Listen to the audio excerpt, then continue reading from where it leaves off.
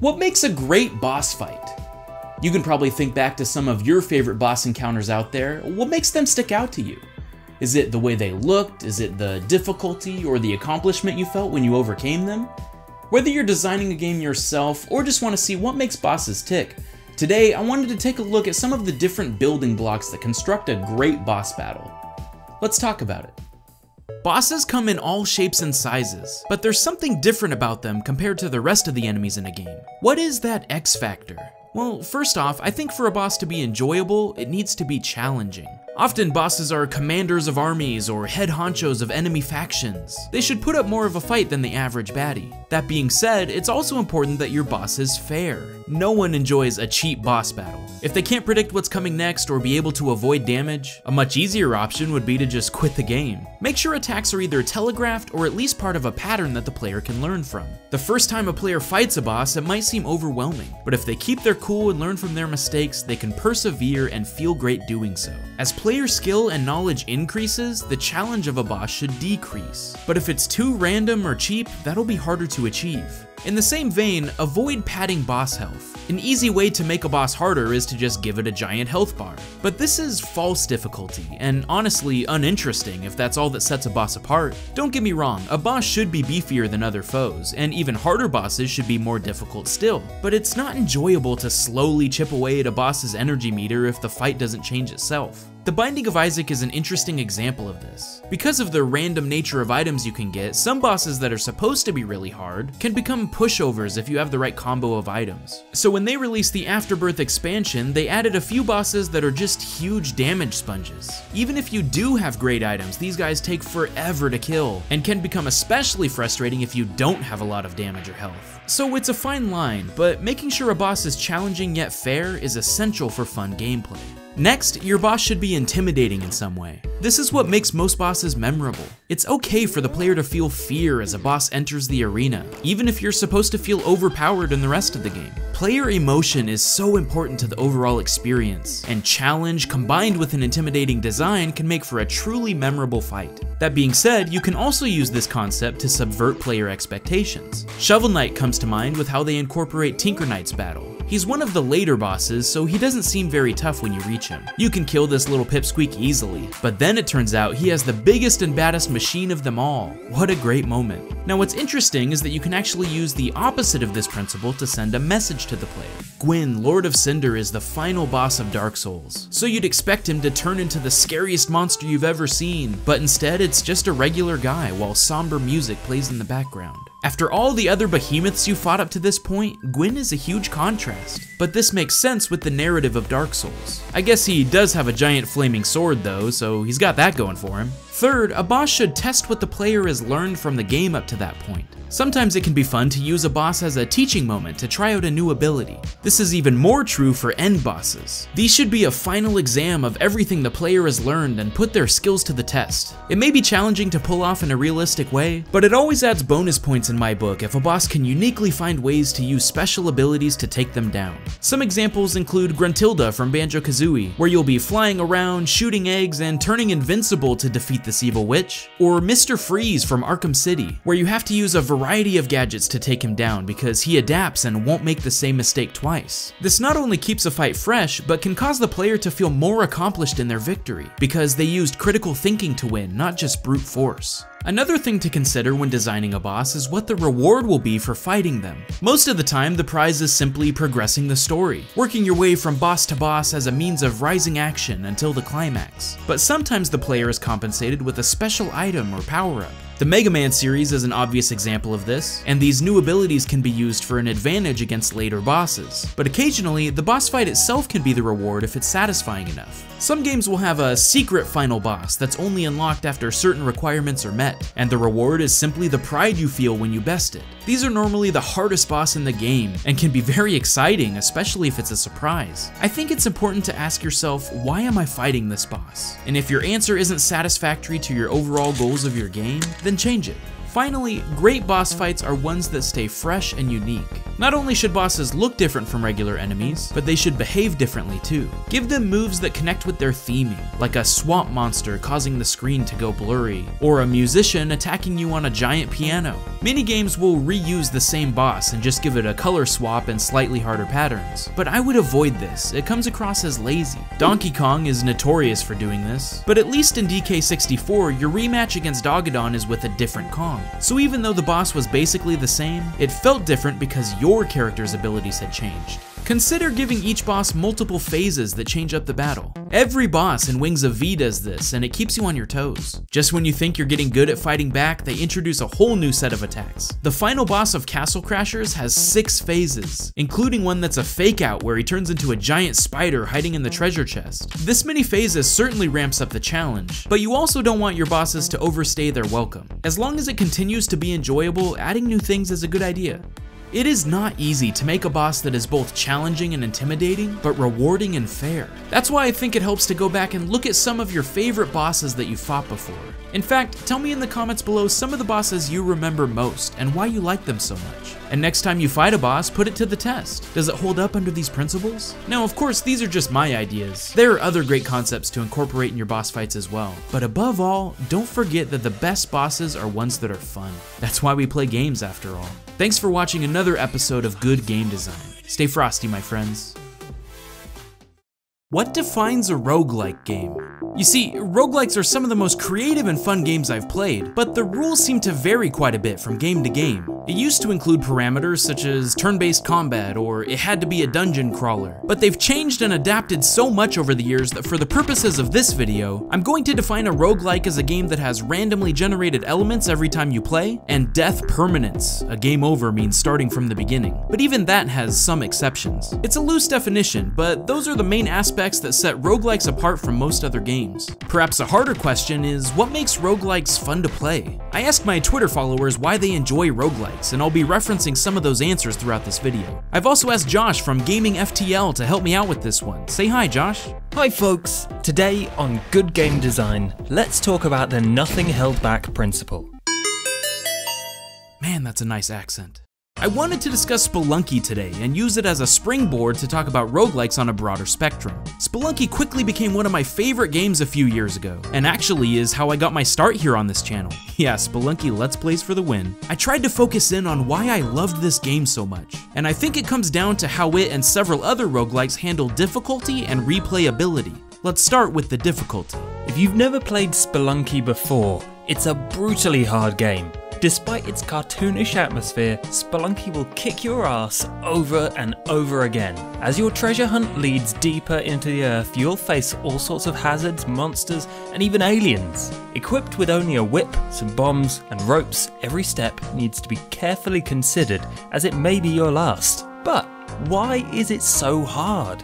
Well, it employs something we'll call the nothing held back principle. You see, Unlike most games where the difficulty rises as you get further into the game, many roguelikes don't change the pattern of enemies over time at all, and will just be the same level of difficulty from the first time you boot up the game to the hundredth. Of course, the game technically gets harder as you enter new biomes, but a giant spider is always going to behave the same way no matter when you encounter it. This is necessary because of how roguelikes are designed. If it's going to be randomly generated every time you play, it has to have all the elements present from the get-go. Unfortunately, this just means that it's going to be a large hurdle to overcome in the beginning.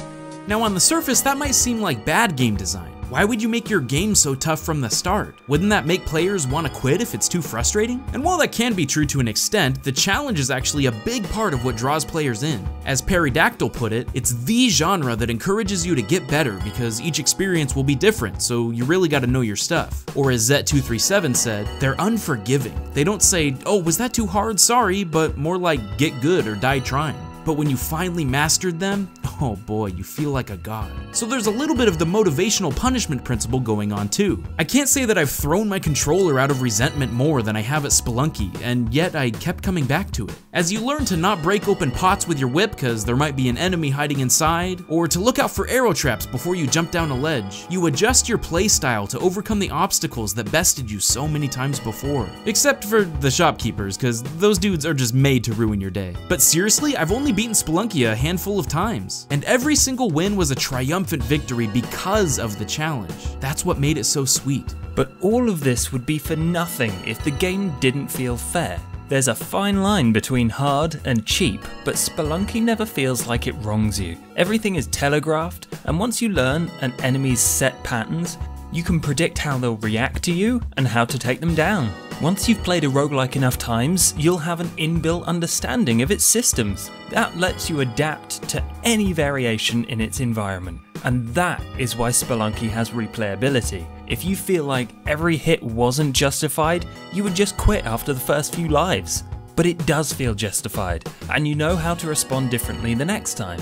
But the fact that everything is random keeps you on your toes through every playthrough. As Heavy Eyed put it, it's like gambling. The game of chance in a new setting makes you be like, this time I will get lucky and get it.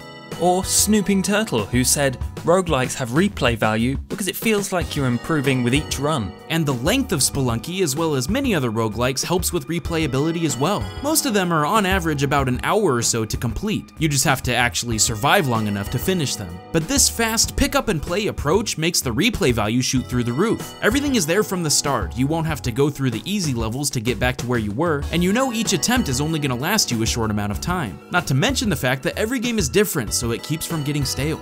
The final element that keeps roguelikes interesting, especially for me, the secrets. Sure, there might be a normal way to beat the game, but a lot of roguelikes will have a secret ending or special items that you have to work extra hard to find. Spelunky might be the best example of this. Let me tell you all the requirements to unlock an entire bonus world and second boss fight. In the mines, a golden chest will randomly spawn on one of the levels and you have to find a key on the same floor to unlock it. This will give you the Udjet Edit this so I don't sound like an idiot. Udjet eye. Now, it does more than just show you gems in the wall, it will also start blinking in the jungle when you are close to the secret black market entrance. This is always hidden behind some terrain, so it would be really hard to find without the Udjet eye. Again, randomly placed every time. In the black market, you can purchase all kinds of upgrades and items, but the important one here is the Ankh. It's $50,000, so you'll have to save up or brave the onslaught of shopkeepers if you try to steal it. But once you have the Ankh, you then need to be on the lookout for the Moai head in the ice caves. When you see it, you actually need to kill yourself, as the Ankh will bring you back to life inside the statue, giving you the Hedjet. In the temple, if you kill Anubis and take his scepter, you can enter the City of Gold. But only if you have both the scepter and the Hedjet. Finally, you can get the Book of the Dead in the City of Gold, which will allow you to enter the secret area called Hell while fighting Olmec, the original final boss. You have to cause Olmec to fall into the lava right underneath the entrance to Hell and use him as a platform to enter. This place is mayhem and will really put the skills that you've learned previously to the test. But the final boss Yama is extremely satisfying to fight, and I just love that there's all this extra game to play for those who are up to the challenge. So what makes Spelunky have good game design? Well, What's With Games might have put it best when he said, Roguelikes more than any other genre intertwine player growth and character growth. The length makes them easy to just sit down and have a quick game of, and the randomized experiences of each playthrough lets them never get old. Roguelikes have the ability to make us feel accomplished in ways that many other games can only dream of. It might take days, weeks, months of chipping away at it before you ever beat them, but the feeling you get when you finally do is unparalleled. Watching yourself go from clue clueless and getting destroyed in less than 5 minutes, to being able to react in every way that you need in order to succeed makes you feel like a better gamer. And probably a better person in general. Put that stuff on your resume. But I hope we'll continue to see more elements of roguelikes inspire games in the future, to branch out and try something new, because there's nothing like them. Tell me in the comments below why you like roguelike games. I'd love to hear it. Thanks for watching another episode of Good Game Design. Stay frosty, my friends. So I've never done a bad game design before. And to kick it off with this game will undoubtedly be controversial. So before we dive in, I'd like to say a couple things. First off, I understand the irony of introducing a series on negatives during the month celebrating my favorite game franchise, and believe me, I was surprised too. But second, I loved this game as a kid. Please don't think that I hold some horrible grudge with DK64. In fact, I beat it 101% and used the strategy guide to the bone when I was younger. It was one of my favorite games on the N64. I know that a lot of people have deep adoration for this game, and it does have a lot going for it. But when I played it again on Virtual Console last year, I realized there are a lot of things that are objectively bad in this game. So I want to talk about it. But of course, I hope you'll understand that I still like this game, and don't mean to offend anyone out there that might hold this as one of their favorites. Now, as I mentioned, it does have some good concepts in place. So let's start by talking about the positives. Donkey Kong 64 was all about making things bigger. There's a huge island to explore. Unlike previous games where you're just hopping from level to level on a picture of an island, you're actually discovering new parts of the world as rocks break apart or new doorways become available. The story itself is bigger. K. Rool doesn't just want your bananas anymore, he's got a giant laser beam pointed at your island. I'd consider the stakes raised. Even the way the atmosphere changes as you go to K. Rool's ship, from a sunny beautiful day to gloomy and rainy, just gives so much character and charm to the world. And that's probably this game's biggest strength its personality. Everything has that rareware charisma and memorability. And I haven't even mentioned the Kongs. You get three brand new ones to play with, and you can learn about them by the DK rap or by just watching them in the tag barrel. Look at Chunky, I love how he doesn't want you to pick him. They all had their own abilities, power-ups, musical instruments, and even freaking guns. But you see, this is where the flaws start to come through. The game had incredible scope, and the ideas were solid on paper, but they could have been executed much better in the actual game. There's a lot of things I could talk about in regards to what's wrong with DK64, but none of them are the major issue I had except one of them. I could talk about how there are just too many collectibles. This is a very common complaint I hear about this game, but it never really bothered me that much. Sure, there are some items that are a little unnecessary, and they use gating to make some of them feel more important, but when you compare it to other collectathons of the era, it's really not that bad. It gives you more things to do, and I don't find that a bad thing. I could talk about the bad camera and controls, the glitches or frame rate issues. And while this did hinder my experience greatly and frustrated me to no end, I chalk all that up to the limitations of the N64 and developers still figuring things out in 3D space. It certainly wasn't the only game around this time to have these problems, and it also explains why they had to reuse some of the bosses for multiple fights. I could talk about the misuse of bonus barrels and how they were more of a nuisance than an actual bonus. The placement often seemed completely random, and the games themselves were either really annoying to complete or entirely broken. Beaver, bother, come on! They repeated the same games over and over, but to be fair, that's an issue Donkey Kong has always had, from the original trilogy all the way to the new generation of titles.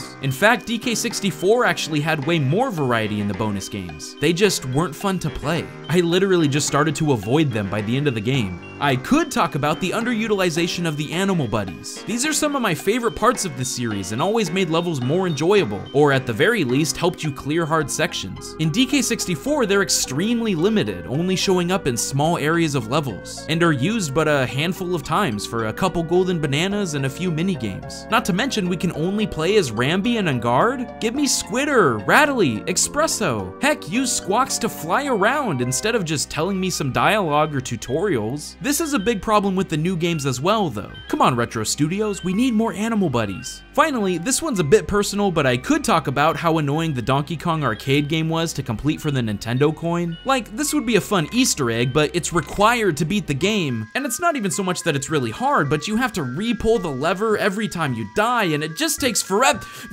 Okay, but none of these issues are what bothered me most when I replayed through this game. It all boils down to one major problem that's pervasive through the entire experience, and that's how segmented it was. Every single collectible in this game that has value is designated to a specific Kong for them to collect. Not just the golden bananas, but the colored bananas, the banana coins, the blueprints, the banana medals, and even a lot of non-collectibles. The switches, the pads, certain doorways, the gun switches, the music pads, the animal buddies, even the boss fights. Everything is separated from each other. And assigned to a specific situation in which you need a particular Kong and their abilities to reach it. Now, why is this a bad thing? On a pause screen, everything looks neat and organized, 5 bananas for each Kong, etc. Well, let's start small. Look at the opening section for Gloomy Galleon. Just in the first hallway, you have blue, green, and purple bananas, so you'd have to backtrack here three different times just to collect a few measly bananas. But that's not all that's here, there's also gun switches for Diddy, Chunky, and Donkey Kong, Simian Slam switches for Lanky and Tiny, not to mention a Kremling to kill for a blueprint, and a ton of these banana balloons that always happen to be placed in the most inconvenient places, all of which need to be collected with different Kongs. Now sure, this could easily be done in a few minutes with a couple quick trips to the tag barrel, but this is just flat ground that's easily accessible. Now look at the climb you have to do in Frantic Factory. This does the same thing with placing different colored bananas all up the tower, but with a much more perilous and time-consuming journey than before. And this wouldn't be too bad as just a few specific examples, but the thing is, this is the whole game. Every string of bananas has to have at least three colors. Areas that lure you in with a specific Kong will also have other collectibles for different Kongs, just so you'll have to come back here again later to collect them. You can't walk five steps in a new world without needing to switch in the tag barrel if you want to collect everything as you go. It won't even let you gather your correctly colored bananas if you transform into an animal buddy. Now, Creepy Castle is probably my favorite level in the game from a design perspective, because they finally decided to place bananas in areas that make sense. When you start this level, you can collect 50 bananas in a row with Donkey Kong, then 50 more in a row with Tiny, and it will help you explore the entirety of the castle exterior, giving you all the warp pads in the process. This is so much better. I didn't feel like I had to go back to a tag barrel every minute, and it helped me get familiar with the level without halting my progress. Unfortunately, the rest of the game does not follow this example. The majority of it feels like a hassle, an out of the way ordeal, and it didn't have to be that way. And these are just the small fry items. Let's talk about the golden bananas, the main collectible in the game. As I mentioned, every golden banana is designated to a specific Kong and will use their abilities to reach them. The problem is that this will often lead to many different areas that are just cut off from other Kongs, or a bunch of little rooms that only certain Kongs can enter. It becomes a game of hit this switch or play this instrument five different times to have the same outcome. Instead of a connected world where you have to use the Kongs to work together, it feels like five separate games layered on top of each other. They do tasks alone, and need to be switched out all the time if you want to get enough collectibles to progress in the game. Even if a banana is accessible to every Kong, it'll be grayed out unless the right character comes to pick it up. What if instead of isolated efforts, you could get bananas with any Kong, and give multiple options to get them? Why does every Kong have to have an even number of bananas? In the original trilogy, it showed whichever Kong you beat the level with on the map screen, and you could start to see which Kong you favored more. It doesn't require you to beat a certain amount of levels with each Kong, it lets you decide that Dixie is obviously the best choice and you should never choose Kiddy, but why not let DK64 have this kind of competition as well? Have the stat screen show which Kong has collected the most golden bananas and regular bananas. Don't restrict your favorite Kongs from being useful. I assume they designed it this way to make each Kong feel valuable and like they're used evenly, but you could still make them valuable without the limitations. What if there were many ways of getting a banana high up in the air, like Lanky's float ability or Tiny's hairspin? What if Donkey Kong could turn invisible to reach a lever that opens a door, but you could also open it with Chunky by throwing a rock at it or use Diddy's head bash? Give the player more freedom to explore with whichever Kong they want. Some things are segregated for seemingly no reason, like the boss fights. Why do I have to fight Dogadon as Chunky here? Look, he doesn't even want to fight him himself. Why not give me the option to get huge and beat him up, or use Diddy's jetpack to fly behind him and hit a sweet spot, or shrink down with Tiny and climb him Shadow of the Colossus style? Okay, maybe that's a little too ambitious, but you see where I'm going with this. It would not only give more options to play the game with, but provide a ton of replayability where you could try battles again with different Kongs. Heck, maybe even challenge runs, like beating the game with only one Kong. In theory, it made sense to have a wide variety of scenarios in which you collect bananas, but what it felt like was five separate treasure hunts happening at the same time. And there are some things that don't require a specific Kong to do, like taking pictures of the banana fairies, getting the rareware coin, or the arena battles. So it's not even consistent, it feels like some things were decided randomly to be separated between Kongs or not. Now there is one example of this game using the various abilities in a fantastic way, and that is the final boss fight. This battle is really long and actually can be really frustrating if you die in the last section, but it uses every Kong and a vast array of their abilities all on one specific foe.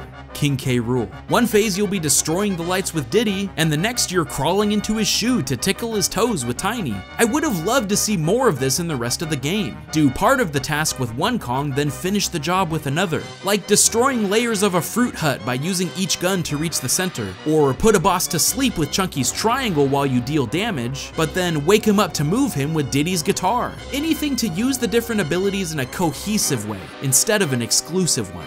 My whole point in critically looking at a beloved game from over 15 years ago is to look at the future. Obviously DK64 is way old and there's no reason to want to change it for its purposes alone, but this kind of thing is important to think about as games continue to evolve. With a small resurgence of collectathons coming and the old team coming back together to make Yooka-Laylee, I hope to see more creativity than ever with the genre. Please understand that all of this critique comes out of a love for this type of game, and wanting to improve it even more. It looks like Yooka-Laylee will be focusing on interconnected and ever-expanding worlds to try things that haven't been done before. I'm nervous and excited at the same time to see how it turns out, but I hope we can learn from mistakes in the past to help improve games that have yet to come. That wraps up our first ever bad game design. I promise the next one won't be so negative. Thanks for watching.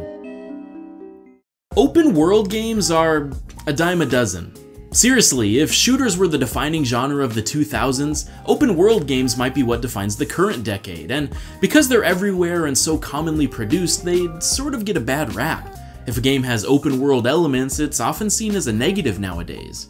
So today on Good Game Design, I wanted to discuss the problems with the genre, and how two new games have made valiant efforts at improving them. Let's talk about it. So what exactly is wrong with open world games? Running around in a giant sandbox, being able to do whatever you want sounds amazing on paper, limitless possibilities and all that, but I think most open world games make two fatal flaws in their designs. One, they actively try to narrow down your experience into a much more linear one, and two, any bonus content you can do is pointless and uneventful. A good friend of mine and fellow content creator Razbuten made a couple videos that I highly recommend checking out. Minimaps are stupid, and I hate fast travel. I promise they're not as pessimistic as they sound. It's more just taking a look at common problems that open world games face and offering some suggestions of how to resolve it. I'll give you the Cliff Notes version here though. Minimaps, while an innocent attempt at giving you more information about the giant world you're exploring, become bogged down with clutter really easily, and waypoint markers of your next objective can force you to look at a tiny dot on your screen instead of taking in your surroundings. It also frees developers of the need to create intuitive level design because you're always guided to your next mission via a simple line or direction arrow.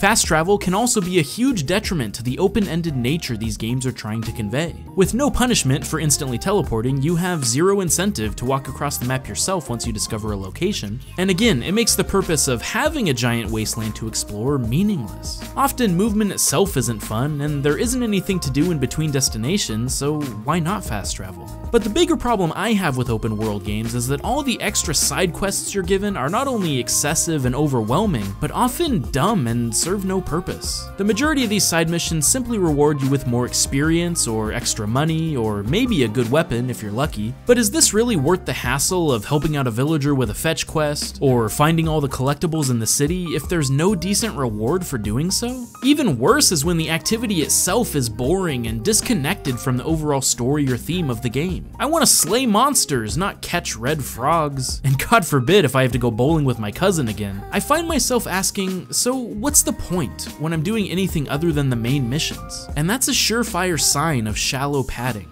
So how do we fix it? Horizon Zero Dawn came out a few weeks ago, and I was pleasantly surprised by how it tackled a lot of these issues. You can instantly journey to any campfire that you've discovered on the map, but it now costs a fast travel pack to execute, which uses up resources you've collected from the environment. This makes each time you fast travel carry much more weight, as you can't just do it infinitely anymore. But the world of Horizon Zero Dawn is a big place, so when you're navigating normally, you can override machines to ride them and go much faster. These encounters in and of themselves are enjoyable and you have to be stealthy to pull them off. Besides, it's important to hike by foot anyway to get the resources you need to craft arrows or healing items. While Horizon uses an intuitive waypoint system that adapts to your surroundings, you have the ability to turn the entire HUD off altogether and be able to take in the beautiful scenery around you as you explore the valleys and mountaintops of this world. Most significant, however, is that the variety of side quests are actually valuable to do. To reveal more of your map, you can climb tall necks and hack into their system, but doing so is extremely satisfying and fun, and each one presents new challenges of how to complete your task. Cauldrons are complex shelters full of monsters, but if you clear them out, it gives you knowledge of how to override even more machines as you journey to new locations. Overall, the side quests improve yourself as a character, and in more ways than just experience or skill points. It enhances the gameplay itself as you unlock new ways to play the game or discover hidden secrets. That being said, it does seem to get repetitive after a while, and the environments aren't exactly intuitive to navigate. What if another game took these improvements and went a step further? Enter Breath of the Wild. Our latest Zelda adventure is similar to Horizon Zero Dawn in a lot of ways. And no, not just because they both like shooting arrows at robots. The same advancements are here in Breath of the Wild. The Pro HUD turns everything off except for your hearts, making for true exploration without a constant reminder of where you're supposed to be. And while you can fast travel whenever you'd like, you can only transport to shrines or towers, not every single place you've discovered. And you're encouraged to trek everywhere because all of the extra things you can do have actual value for growing as a player. The shrines give you spirit orbs that can increase your hearts or stamina when you collect four of them. Korok seeds can be found by solving simple little puzzles throughout the world, and these are used to upgrade your weapon, shield, or bow slots to carry more equipment. Killing enemies and gathering their body parts are not only useful for cooking elixirs, but also for upgrading your armor at the Great Fairy Fountains. And even memories can be triggered by finding locations that match these photos you're given by Impa, and these give you backstory of what happened 100 years ago before Link lost his memory. Everything has a purpose, and it's so much more than just money or completionism. In fact, Breath of the Wild pulled off something that every other game strives to do. It made each task and location unique, creative, and fun. I feel like you don't need a minimap to explore Hyrule. There's something waiting to be discovered around every corner. And no matter where you traverse, you're gonna find something interesting and rewarding. It's a map that was carefully crafted to be explored. And even the same tasks you have to do over and over are all distinctive from each other, like the towers that fill in your map. Yes, you have to climb to the top of each one, but they all have different obstacles along the way, like purple goop blocking the path, or simply not having any ledges to rest on, so you need to fly in from above. All of the dungeons are similar in that you need to find a way to enter them and interact with the five modules to take control of their body. But each one is so vastly different from the last and were very memorable experiences. Even the shrines blew me away with how diverse they were from each other. Not only are there 120 of these things, but they can all be completed right from the get-go. Nothing is gated from the beginning. And this sense of openness is only reinforced by how realistic the game's physics are. Want to create a giant snowball? You can do that. Want to climb that mountain in the distance? You can do that. Want to dress like a woman and ride a sand seal? Normal Saturday night. In fact, Zelda dared to do something most any other game would never dream of. You're able to go right to the end as soon as you leave the Great Plateau. Why would you create all this extra stuff to do, but then allow the player to skip it all and just beat the game in the first hour? Now, obviously, this is easier said than done, and they definitely recommend that you don't do this, but the fact that it's possible is so important. This means that everything you do in this game is your choice. And this is exactly what an open world game should be all about. It's almost the polar opposite of other Zelda games. The joke in Ocarina of Time was that you're supposed to be saving the world, but instead you're fishing or catching chickens. But here it's like, well, you could fight Ganon, but why don't you go recruit some help first by wandering across the land? The only quest you're given at the start is to defeat Ganon, and how you decide to tackle that is up to you. It even makes fun of you a little bit if you don't know where to go and ask for help. Like, come on, have a little more resolve than that, you can figure it out. And this is all intentional. The driving force behind every design choice Nintendo makes here is discovery. It's fascinating when you start to see all the little details they threw in. Hestu, the maraca shaking broccoli tree, is purposefully placed on your way to Kakariko Village in the beginning. This is the only direction you're given, and the developers wanted to make sure you knew what the purpose of Korok seeds were early on. But he only lets you upgrade a couple times before he heads off towards his home in the north. If you want to upgrade your weapon slots further, you need to explore and find him again. When I first left the Great Plateau, the first thing I found wasn't a horse or a simple shrine, but instead a giant rock monster like, what? Look how far he hits me! There's a bunch of these mini bosses all over the world, and this is one way to find out about them. Okay, get this, you can find a lady just cooking some meals on a cliffside, and she'll tell you the recipes she's made, but they're all bad and will only create dubious food that's so gross you can't even look at it, it's pixelated. But like, I should have known because she sucks at cooking. Look at that, she burnt the meat. And if you stand on this bridge and look out, a guy stops you and tries to talk you out of committing suicide. Like, don't do it, man, there's so much to live for. I can't even begin to describe how unique every single area is. The detail is unreal, and I never felt like I was seeing the same thing twice. Perhaps what games these days struggle with most is keeping things fresh. An enemy might be cool the first time you see it, but by the 20th, it's repetitive. I never got that feeling with Breath of the Wild. Every choice I made was my own, and the world encouraged me to do just that. It is truly a game that gives you the freedom to explore and rewards you when you do. Not with pointless experience, but with tangible benefits that have caused me to become hopelessly addicted to flying around Hyrule in hopes of finding every little secret. This is what an open world game should be, and I don't know if I've ever seen a game that executes it so perfectly. Thanks for watching another episode of Good Game Design. Now, if you'll excuse me, I have a world to explore. Stay frosty, my friends. Atmosphere. Immediately, that word might make you think of scenery or a world that you're placed in. And in movies or books, that will probably be the case, but in the interactive medium of video games, a lot more can be at play here. Let's talk about it. So, what makes a game have good atmosphere? Well, I think that while a game doesn't have to be realistic, it needs to be believable. Part of the reason we play games, after all, is to escape reality and play in a fantastical world, and it's easier to do this when a game's environment is authentic and cohesive. In Bioshock, for example, Rapture is an intricate underwater city that's run by a fictional resource called plasmids, which you discover ended up being the same city's downfall. Little intricacies and hidden backstories are some of what make a fabricated world click with us as a player. And certainly the art design helps with this. The more detail in the visuals, the easier it is to get sucked into a universe. But other factors are involved here too, including pacing, game feel, heck, even the music and sound effects. And none of these could get the job done on their own. Now, it's important to note that games with good atmosphere aren't locked into a particular genre. It can fit all sorts of different moods and playstyles. Look at Metal Gear Rising Revengeance. I've played a lot of campy over-the-top games, but this one might be the hypest. Everything here screams Saturday morning cartoon, and it sets that tone right from the get-go. You're immediately thrust into battle with a giant robot, and even though it keeps coming back for more, you can chop it up with ease. It makes you feel extremely powerful, but then the villains you face are even stronger and put you in your place. This raises the stakes and delivers high octane action for the whole experience. And the entire world complements this tone, from the cheesy dialogue to the epic music playing as you slice everything standing in your way to bits. Oh man, it feels good! Now look at a game like Braid, almost the polar opposite in terms of gameplay, pace, and atmosphere.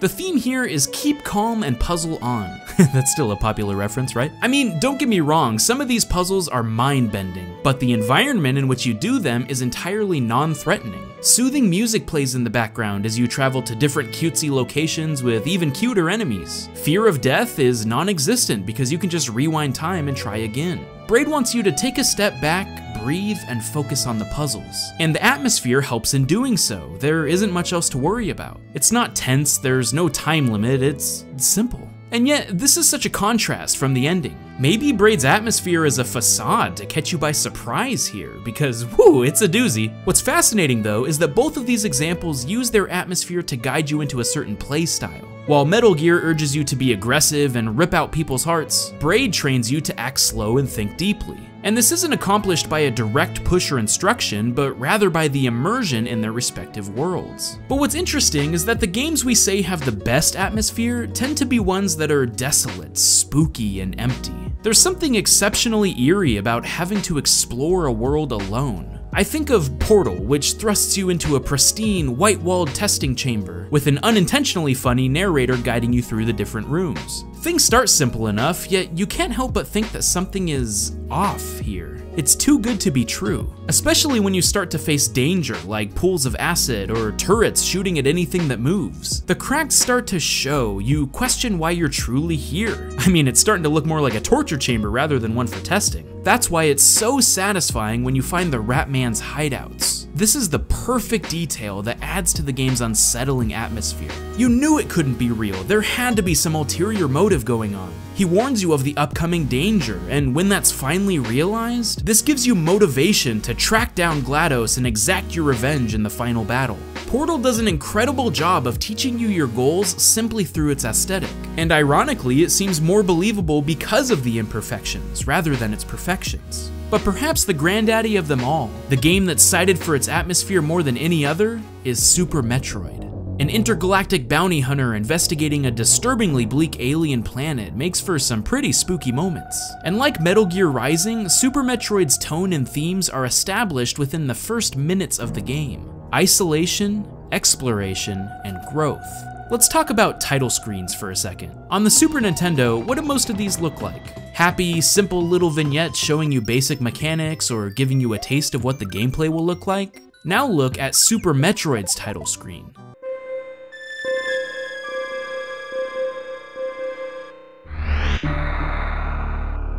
death, eerie music, creepy sounds. You're shown that this will be an isolated, chilling experience from the first seconds of booting up the game. It doesn't hold anything back, and maybe that's why this game didn't interest me that much as a kid. It was frightening and mysterious. And sure enough, as you begin your journey, it's empty. You are truly alone. And that makes it even more terrifying when space pirates and aliens do show up. There's no one here to help you. You have to do this mission on your own. Yet you do have a mission. So you show up at the space colony and are confronted with two major problems. Everyone is dead, you need to get to the bottom of it, and Ridley, the leader of the space pirates who stole the last Metroid, just wrecks you. You don't even stand a chance, and he escapes. So this sets up two motivational points for the player, retrieving what was lost and growing stronger. And how do you accomplish these goals? By exploring the world. As you dive deeper into this foreign planet, you'll gain all sorts of power-ups along the way. And this not only makes exploration easier, but helps you defeat enemies quicker as well. Some of the foes that deflected all your shots in the beginning can now be taken down with ease, as you develop skill as a player and as a character. And perhaps what stuck out to me most while playing was how real Zebes felt as an actual place. Super Metroid's sound design is out of this world.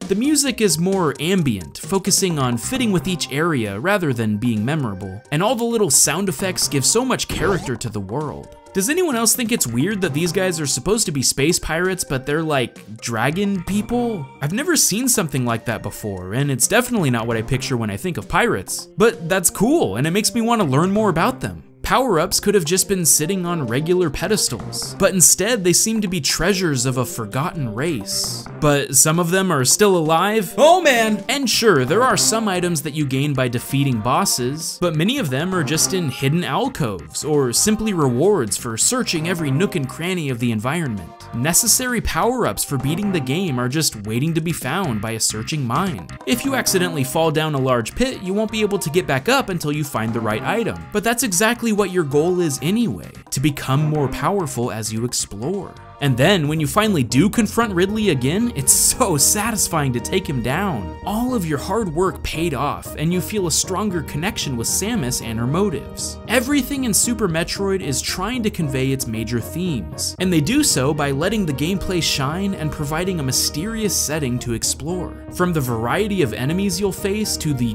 godlike level design, to simply the soundtrack. All of it combines into a phenomenal atmosphere.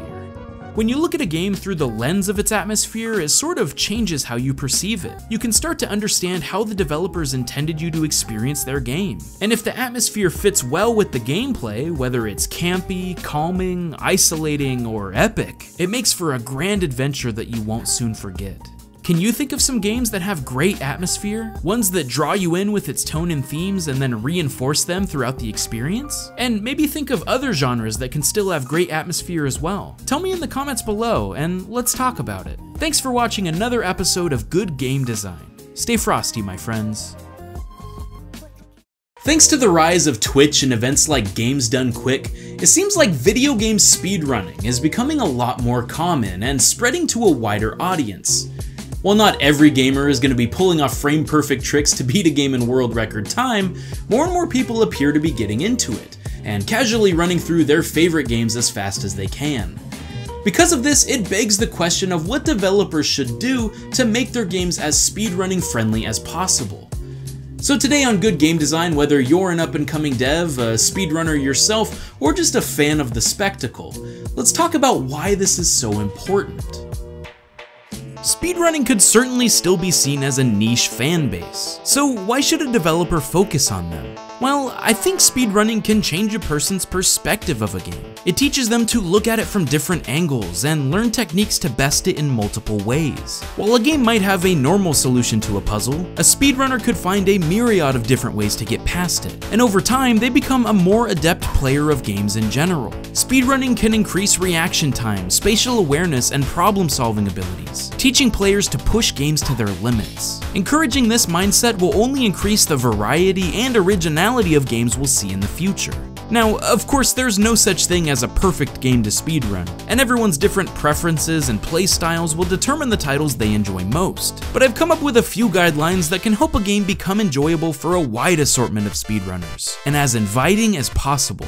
It's important to remember that a speedrunner will be playing through a game hundreds, sometimes thousands of times. So while a certain experience can be enjoyable the first time, it could easily get frustrating after the 10th, let alone 100th. First off, let's talk about cycles. Now, what the heck do I mean by cycles? Let me show you an example.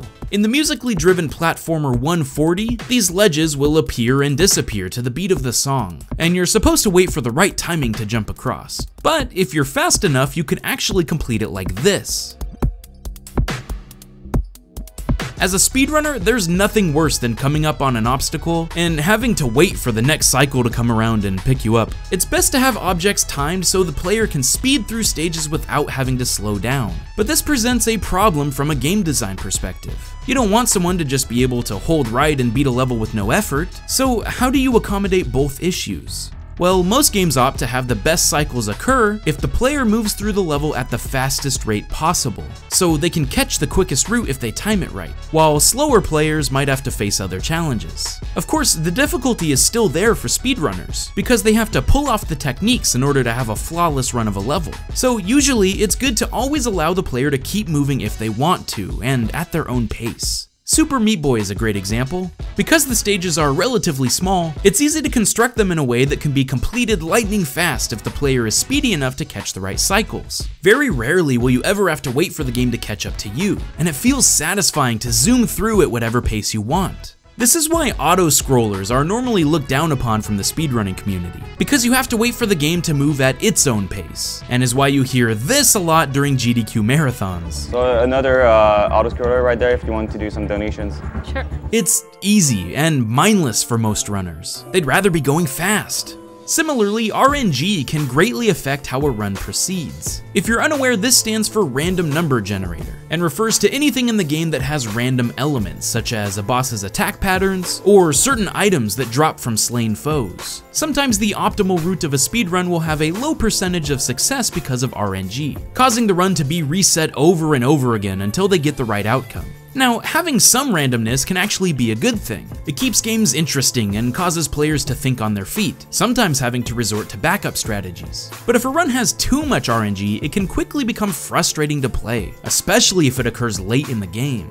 Grunty's Furnace Fun in Banjo-Kazooie is notorious for being a run killer, because the Grunty questions are randomly generated each time you start a new game, meaning the correct answer will change every time you play. Therefore, you only have a 1 in 3 chance of getting the answer correct, which could easily waste time or worse, launch you off into the lava if it's a death square. And being right before the final boss fight makes this section extremely punishing.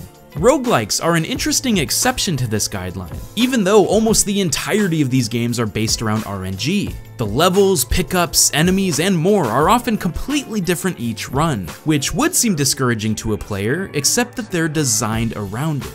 Roguelike speedruns are very short and can be restarted with ease. Even though the exact placements are random, runners can normally sense patterns of the procedurally generated world and adapt accordingly. In fact, roguelikes are all about adaptability. This type of game may not appeal to all speedrunners, but it's worth mentioning that it can work in some contexts. If you do get a run where everything clicks, the results can be astonishing.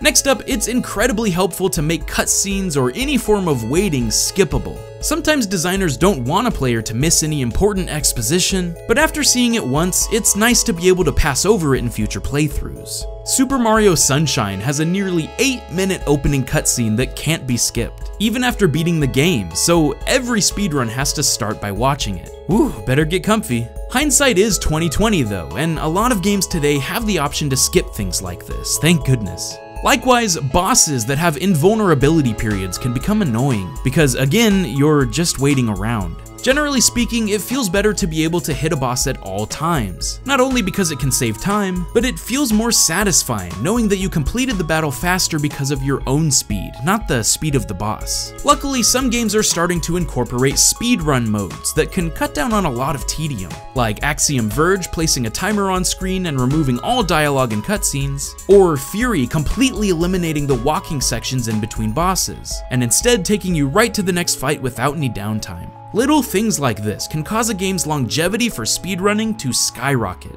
This might not seem like a big deal, but including in-game leaderboards of the fastest times for stages can immensely help speedrunners improve and hone their craft. This not only allows for individual level practice, but also encourages competition with the leaderboards, especially if you can compare against your friends' times. Pushing your players to think about speed and how they play can be as simple as including a timer option, or having specific achievements for beating the game in under a certain amount of time. This can help casual players dip their toes into speedrunning without having to practice for an unrealistic amount of time, and can be a fun inclusion for completionists that completely changes how you tackle a game.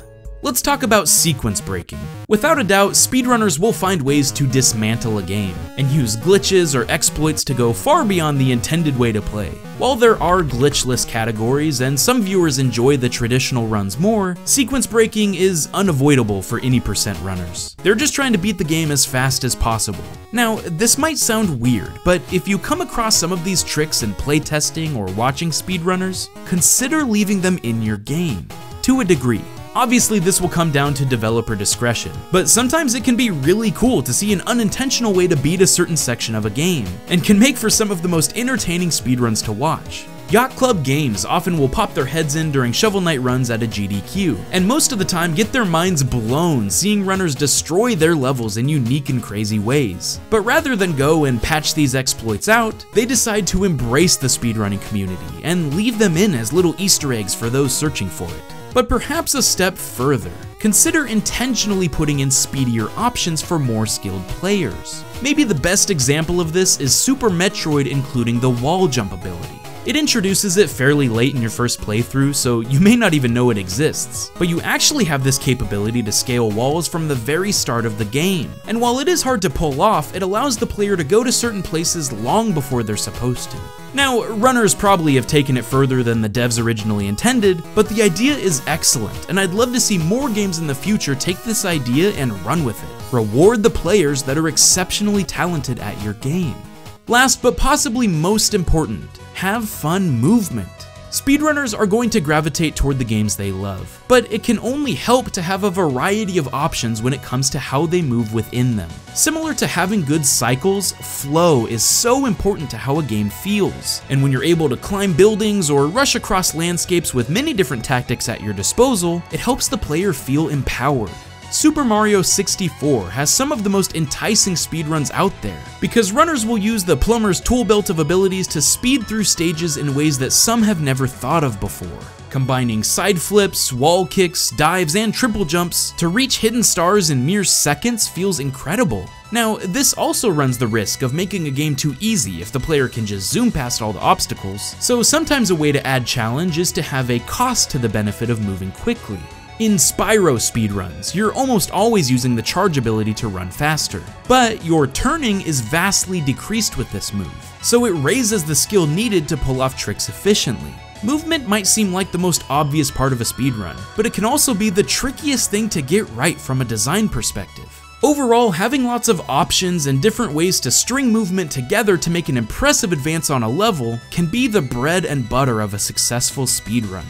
All of these options might seem like an afterthought to include in game design, especially if it's a slower paced game or not designed with speed in mind. But a few tweaks here and there can go a long way in making it more accessible to speedrunners, casually or professionally. We've seen a lot of strides taken from developers to include speedrun modes or other features that can enhance replayability, while some tried and true methods from the past are still just as relevant as today. So does a game have to include these guidelines to be considered good? Of course not. But as the community of speedrunners grow, I can only see it being a good thing if creators take notice and help improve game speedrunning quality in the future, to continue pushing boundaries and helping gamers think outside the box for years to come. What are some things that you think a developer could do to make a title even more intriguing to speedrun? If you run games yourself, what are the qualities you look for when picking a title? Tell me in the comments below and let's talk about it. Thanks for watching another episode of Good Game Design. Thanks for watching, and stay frosty, my friends. Celeste has quickly become a force to be reckoned with, and easily one of the most recommended titles to be covered here on Good Game Design. I'll admit that at first I was having a hard time loving it. The controls seemed a bit inconsistent, and I wasn't sure how I felt about the combination of art styles going on. But as I persevered through each chapter, something elegant started to form. I gained an understanding of every technique as well as the charming tale it was trying to tell. Today on Good Game Design, let's talk about how Celeste presents such a beefy amount of gameplay and manages to nail every aspect.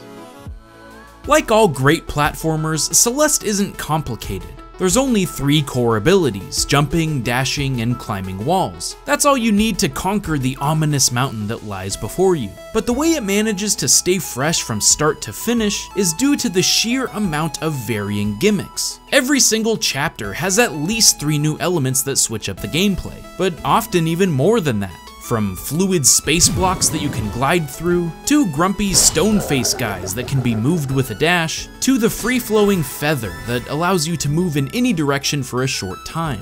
Just when you think you have a particular skill mastered, it'll throw in more curveballs and build on top of the previous mechanics to test you even further. What surprised me, however, was how wonderfully the story fit right into the gameplay. Of course, climbing Celeste Mountain won't be easy, so along the way, your doubts and fears manifest themselves into what I can only describe as your dark side. And this demon-like version of yourself will tease and torment as you try to complete chapters, eventually leading to a full confrontation of an epic boss battle. As you become more adept at tackling the obstacles in your way, the protagonist, Madeline, overcomes her own fears and leads to a phenomenal final chapter where not only do you reach the summit, but learn to believe in yourself and trust that you can defeat anything that stands in your way.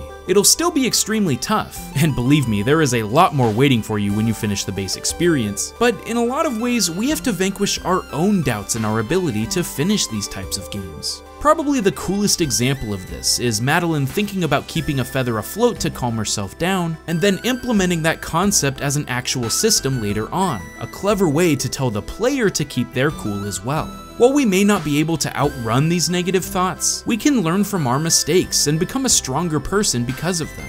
It's a powerful message, and done in a tastefully captivating way.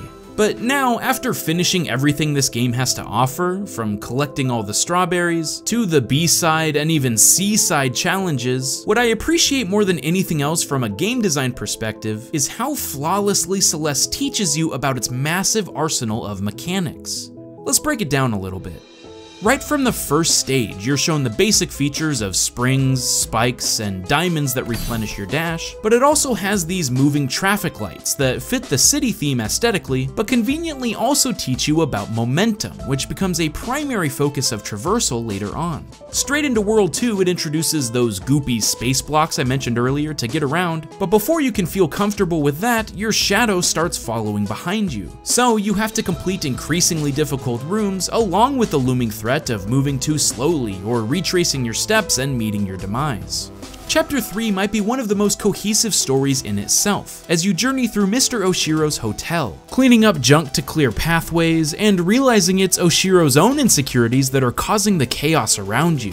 More and more of these black fuzzy blobs start appearing the deeper you get into the resort. And it caps off with a final chase sequence where you have to avoid Oshiro himself while going through a gauntlet of what the stage has taught you. The Golden Ridge is also quite cohesive, beginning with clouds to bounce on, green bubbles that give you a boost, pesky wind to throw off your sense of speed, and these arrow blocks that have adjustable trajectories as you cling on for dear life. But by the end, it will expand your knowledge of how they operate. Pink clouds disappear after one bounce. Wind can be used as an advantage just as much as a disadvantage. And sometimes you'll have to move obstacles out of the way to keep those necessary platforms alive. And then, of course, it melds them all together. You see, this is the recurring theme I started to notice with Celeste. Each chapter will propose new pieces to the puzzle, but they're taught individually at first, and then built upon as you progress. So eventually, you're flying through insane tests of endurance like it's nothing, because it prepared you for the journey every step of the way.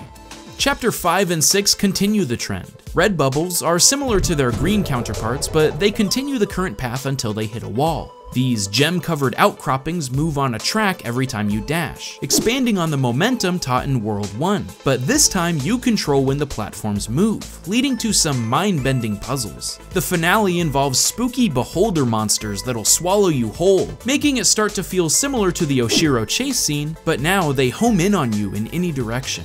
The next area, entitled Reflection, starts in a serene garden while presenting the aforementioned feather and grumpy blocks, as well as these bumpers that can launch you great distances or into a wall of spikes if you're not careful. And yep, you guessed it, this leads to combinations of all three. Bumpers into feathers into moving blocks, all while tackling a climactic boss sequence against your darker self.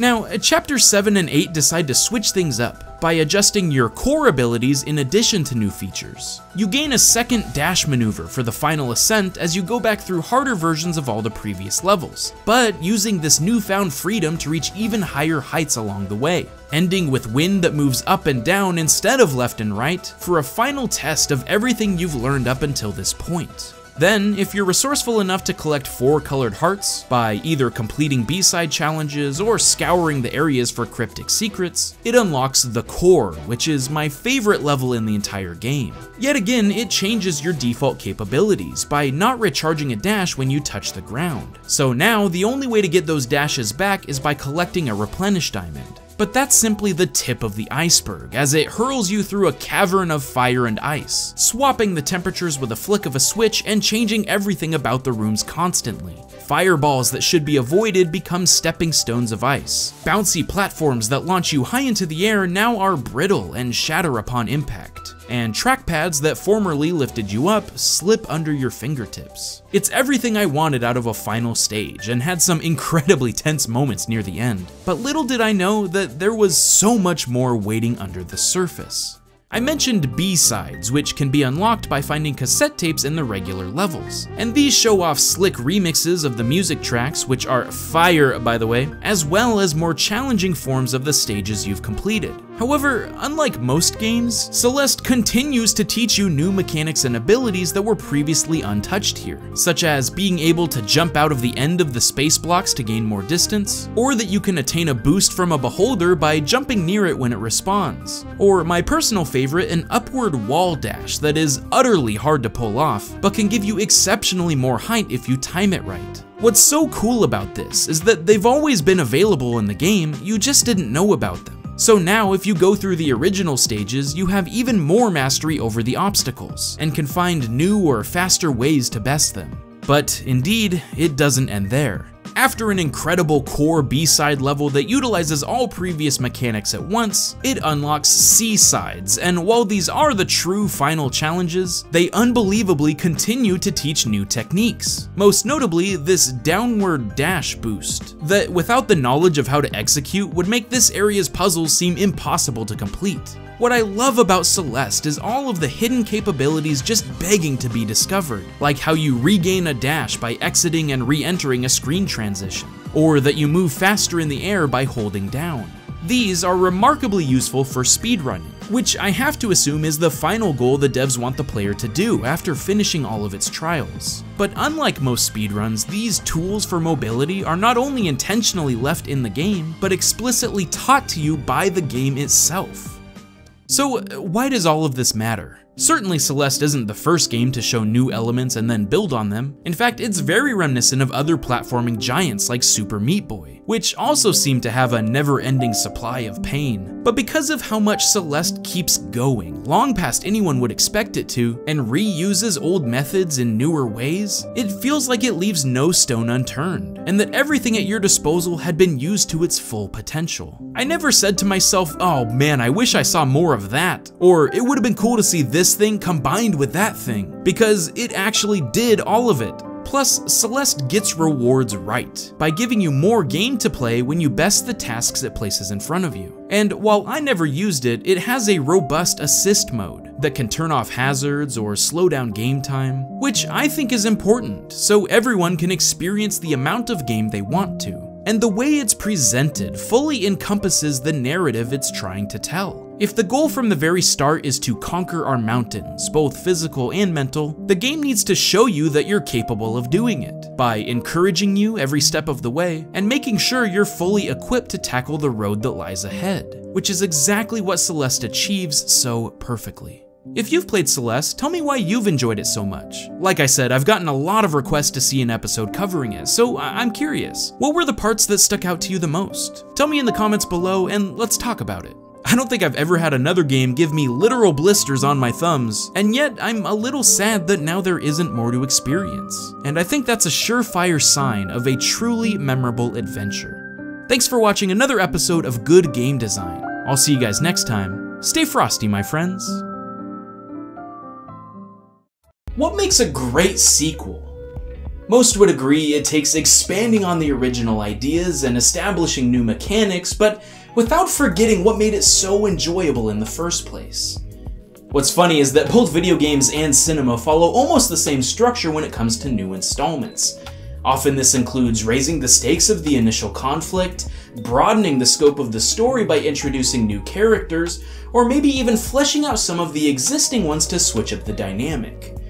Games have been doing this for years, and there's plenty of examples of phenomenal sequels that try out new concepts while still retaining their identity. Donkey Kong Country 2 comes to mind, with its ability to change the jolly romps through the forest of the original into its fully realized potential with creative new worlds, such as pirate ships, theme parks, and beehives, while also adding new mechanics like wind and transforming into animal buddies, as well as a focus on vertical level design, not just horizontal. The stakes are certainly higher. Instead of simply searching for a banana hoard, this time you're out to rescue the hero from the last game, Donkey Kong himself.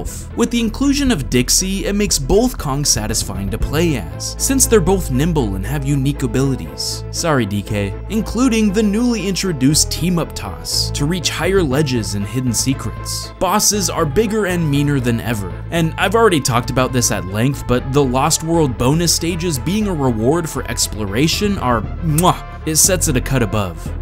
Portal 2 is another great example of taking the iconic idea of the original and amplifying it in new ways for a much more interesting experience. New characters like Wheatley and Cave Johnson are hilarious and full of personality, and turning GLaDOS into a pseudo-ally this time around was a great addition, since she was already so likable as a villain. Giving some backstory to Aperture Science and increasing the challenge by introducing gels and new ways to play felt like the perfect continuation of what was laid out in Portal 1 and a two-player co-op mode with its own story set of hurdles to overcome was just a cherry on the lie. But perhaps the best example of a sequel, one that tends to come up in every debate on the topic, is Paper Mario The Thousand Year Door which is especially impressive considering how superb the original on the N64 was. As we outlined in our last video, Thousand Year Door would have a lot to live up to, but it took those elements that Paper Mario excelled at and took them even further, especially in the aesthetic and combat. While the first game pioneered the paper theming, it didn't utilize it too often other than a visual gag here and there, or how the characters moved. Now in Thousand Year Door, it becomes your upgrades, transforming into a paper airplane, turning sideways to fit through gaps, rolling up like a newspaper, and even becoming a cute little origami boat. Paper Mario means a lot more than just looks this time around, and the world you explore reflects that. Oh, and by the way, these new abilities are supposed to be seen as horrible curses that an evil spirit casts on you, but they're always helpful. You see, the humor and charm of the last game only continues here in your latest adventure. Thwomps wearing bow ties, mafia godfathers asking for favors, and bosses being afraid of cricket noises if you change your sound effects badge are par for the course here. I love that instead of just leaving Luigi bored at home, this time he's out on wild adventures and wants to tell you every detail detail. Every character is still so unique, and the atmosphere is just as playful as before, albeit in a bit more cartoony appearance. That being said, the story is certainly more intense than Bowser taking over Peach's castle. The X-Nauts want to release an ancient demon to devour the world whole, and you'll travel literally to the moon and back to make sure that doesn't happen. In fact, it seems like all great sequels have a moon somewhere. Princess Peach sections make a return, but they've also added Bowser mini quests in between chapters characters. And while I wouldn't say they're better than the 64 versions, it was the next logical step since Bowser isn't the big bad this time around. Rogueport, while not quite as memorable as Toad Town, has just as much to offer in the extra content department. From helping people in the Trouble Center, to a fully fledged casino, to the Pit of a Hundred Trials for some added challenge. And unlike Paper Mario 64, you can head back to town after defeating the final boss. So the possibilities are endless. Heck, one of the side missions even nets you an optional party member, which is just fantastic. But I think the biggest overhaul was to the combat. They took that grade school production idea a step further by adding in a full studio audience to your battles. This means that if you perform well, more people will show up, but they also can throw things on the stage to damage or distract you. The stage itself will also start to fall apart and cause lights to fall from the rafters or backdrop scenery to collapse. On top of the action command system, they've also incorporated stylish points, when you hit an additional button with the right timing. This, as well as having a full audience, will cause your star power meter to charge faster. Remember last time how I said that I wish the star spirits were better utilized in 64? Well now, the crystal stars, which are basically the same thing, not only have more appropriate uses, but they also are more engaging since you have to do a little minigame in order to use their full power. Of course, badges make a return, but you also unlock natural maneuvers as you upgrade your shoes and hammer. So even if you don't equip a bunch of special attacks, there's still multiple ways to stack a ton of damage on your foes, which is good because the bosses definitely have more health this time around as well. On top of all this, there's more varied button combos, a slot machine system to potentially refill all of your stats, and even partner health to worry about as you can switch the order that you attack. Battles are somehow even more enticing in Thousand Year Door than the nearly perfect system of the original, and that is one of the best feats the game accomplishes. Now, for everything this new adventure does right, I wouldn't say it's entirely flawless. Some of the characters are very similar to their predecessors, in both their personas and their abilities, and even a few of the chapters resemble each other a little too closely to really be considered new. That being said, where it does innovate, it does so in great ways. Like, even though Koops still uses a shell toss maneuver, he can hold it in place, which allows for some cool puzzle solving opportunities. And although Keelhaul Key begins with a loudmouth treasure hunter taking you to a secluded island, the fact that the boss of the chapter helps you duke it out with the X-Nauts Pirates of the Caribbean style is insanely memorable. Really, for every deja vu moment Thousand Year Door has, there's another one that's totally fresh, like controlling an entire army of punies, or battling your way to the title fight against Rawk Hawk, only to receive a fake crystal star on the championship belt, or getting your body taken over by a ghost until you're able to speak his name. The only true criticism I can make about the game is that there's a lot more backtracking. You'll often have to run back and forth across the entire area just to complete your mission. The worst culprit being Chapter 7, which requires you to travel to all the locations you visited just to find General White, who ends up being right where you started the entire time.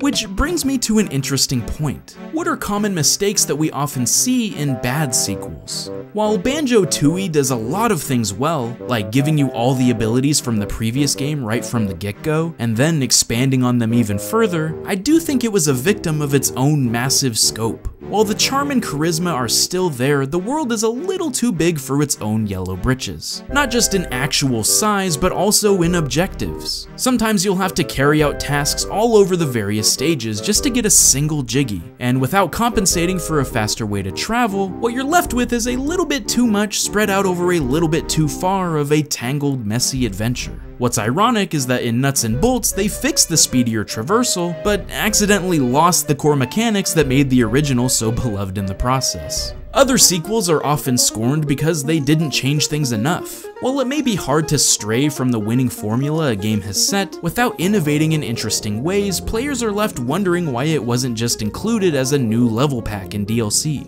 I remember hearing complaints about Hotline Miami 2, saying they changed things too much and they just wanted more of the original. But if it was simply more of the same, why would it need to be a standalone title? Without key improvements, people complain about how a series isn't going anywhere, or it's always just the same story over and over again.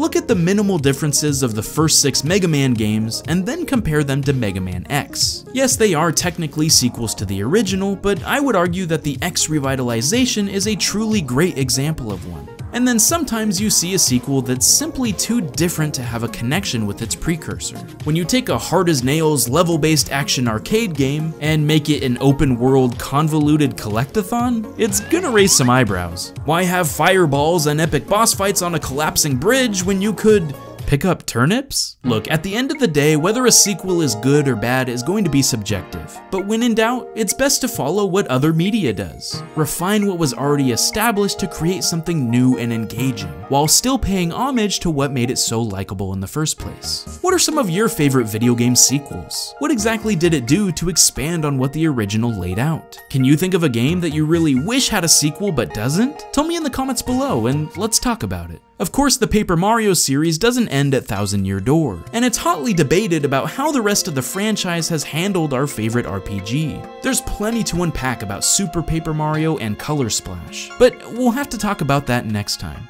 Until then, thanks for watching another episode of Good Game Design. I'll see you guys later. Stay frosty, my friends. Paper Mario means so much to so many different people. It practically defined my experience with an entire generation on the N64, and I know it was the same for many others on the GameCube with an unforgettable sequel. We've already talked at length about its charm, memorable characters, and satisfying gameplay, but we have one more era to discuss to wrap up our series on the Paper franchise what happened after the first two games in Super Paper Mario and Color Splash. One is divisive, to say the least, while the other is essentially panned across the board, but I wanted to talk about my experience, since I basically played both of them fresh for this video. Do they hold a candle to the originals? Well, let's talk about it. First off, I know a lot of people are gonna ask about Sticker Star, but I'm not covering this one for a couple reasons. One, I don't have a way to record 3DS footage, and two, from what I've seen, it has a very similar structure to Color Splash. So any criticisms I make would probably be the same for both games here. We'll basically kill two paper birds with one paper... rock... rock, paper, scissors. But first we have to talk about Super Paper Mario, the black sheep of the family. Remember, Thousand Year Door was a nearly flawless sequel that expanded the original in unprecedented ways, so it already was going to be a tough act to follow. But you also have to keep in mind that Nintendo likes to switch things up with their new installments. Rarely do you see a follow-up that doesn't change the gameplay in any significant way. So the key difference they decided to run with this time was Mario's ability to change dimensions and go from a 2D perspective to 3D. Now, on its own, this is by no means a bad addition. In fact, it looks pretty cool from a marketing standpoint, and the potential was pretty high for where they could take it. But they removed a lot of the fundamental elements that the Paper Mario series had become known for along the way. The biggest turnoff for me and the most obvious shift was from a turn-based battle system to real-time combat. Things resemble Mario's older games a lot more this time around, jumping on enemies' heads and throwing objects to cause damage. But the physics aren't nearly as crisp as the Italian Wonder's other platformers. There's no more experience points or picking which stat you'd like to upgrade. Instead, you level up based on your total score, and it picks a predetermined stat to boost, taking away any agency you have on customizing your build. Badges are gone, upgraded equipment is nowhere to be found, and forget about party members while you're at it. Everything is streamlined toward jumping through obstacles and completing stages in this adventure. In fact, the second thing that rubbed me the wrong way at first was the four act structure of each chapter. The fact that each level wraps up with a star block to hit feels anticlimactic, and much more linear than the exploration and traveling to different interconnected worlds of the first two games. Each set piece is accessed from the same location in the hub, and plays out like a level-based platformer. Sure, there's rising action and climax in each one, and of course more occurs than simply running to the right, but this new presentation style and massive gameplay shift was very jarring coming off the heels of Thousand Year Door, and the improvements it had made to the formula. When each chapter used to wrap up with a story summary of where Mario should head next, it was endearing and driving. But now, since it shows up after every section, it slows the pace way down and feels like we didn't even accomplish anything in between each activity. So my first hour or so with the game was spent more or less grumbling about how it was way too different from past Paper Mario games, and how annoyed I was at this new adaptation. But I gotta admit, after a while I got used to it, and the strengths really started to shine through. This game is fantastically written, just like the originals. Some of the new scenarios you face are amazing, like knocking over a priceless vase, and having to pay back the cost through hard manual labor, or taking a pit stop in the middle of space because your alien buddy really has to go, or my absolute favorite, infiltrating a nerd castle of an anime-loving, dating sim-playing, chameleon fanboy who steals your butterfly companion to take pictures of it. It's unbelievably wacky, catches you by surprise with some of the switch-ups, and feels like a good next step as far as the overall story of Paper Mario goes. The main villain is fascinating, and while there is certainly more dialogue this time around, I think it's just as creative as before, and kept me intrigued to see what happened next. Luigi becoming a brainwashed villain is a perfect twist that we really haven't seen before.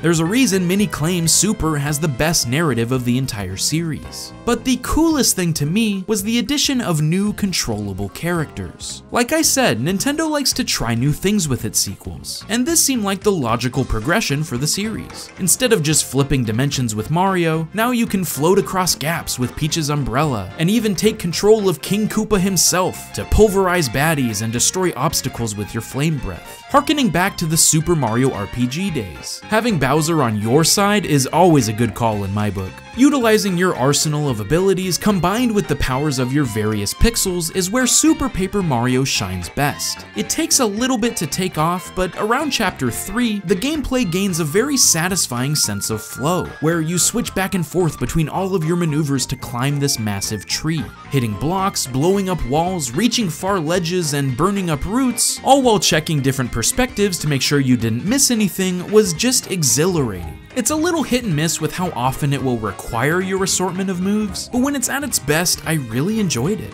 Unfortunately, it just doesn't reach that full potential because of the other elements it scaled back so heavily. Having pixels you recover from chests is definitely a downgrade from party members with unique personalities and backstories. These guys only speak like once, and then they're just defined by the new gimmick it allows you to do. Using Peach and Bowser is great, but the menu is much more clunky this time around, mainly due to the limitations of the sideways Wii remote. Having to open the full menu to swap pixels, characters, or use an item got old pretty quickly. And honestly, the whole game felt a lot more slow and cumbersome.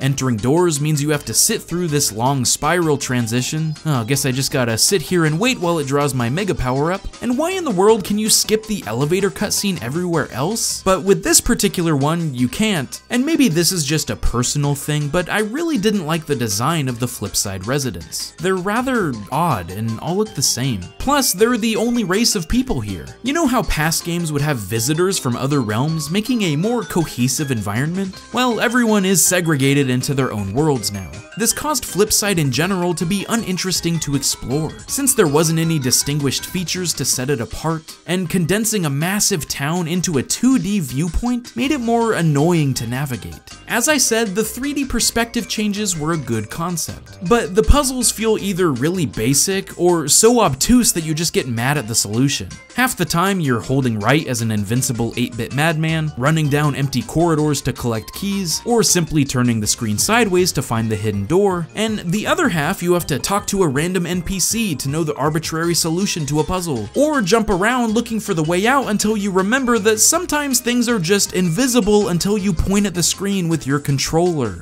Some things are creative, but for the most part it feels like a dumbed down Mario adventure. I personally believe because of the level-based structure and unwieldy execution of the controls and mechanics. I'll tell you what, here's what I would have done if I were to recreate Super Paper Mario to be a proper sequel to Thousand Year Door. First and foremost, ditch the four-part installments of chapters, and make the stages accessible from different parts of the hub like the old games. No more of this eight doors atop the tower nonsense. A huge reason the first two games are admired so heavily for their integrated worlds was because of how you uncovered the next hidden chapter. Flipside has a lot of potential. You could still run around swapping dimensions and using new abilities, but hide the next locale behind some of these secret pathways. Keep the 3D perspective shift, I like this, but can we make the scenery a bit more appealing than just a lengthy barren hallway? Make these trees pop out. Put other obstacles in my way. I would get rid of the time limit on this ability and make it just as interactive as the regular view, instead of simply changing to it for a quick solution now and again. The pixel maneuvers are cool, but they really need to be full-blown characters. You already have all these new species and villages, they don't even have to be Mario-specific dudes. Make them aliens, cavemen, maybe even little chameleon henchmen that switch sides, I don't know. The pixels feel lazy and more like an item than a party member. And finally, but most important, the turn-based combat has gotta come back. Now, this was hard for me because Thousand Year Door amplified the original in so many cool ways. It would be really hard for Super to keep the train rolling. I racked my brain trying to think of how it could continue to innovate while still keeping the structure the same. And then it hit me. Use the 3D dimension swapping in the combat.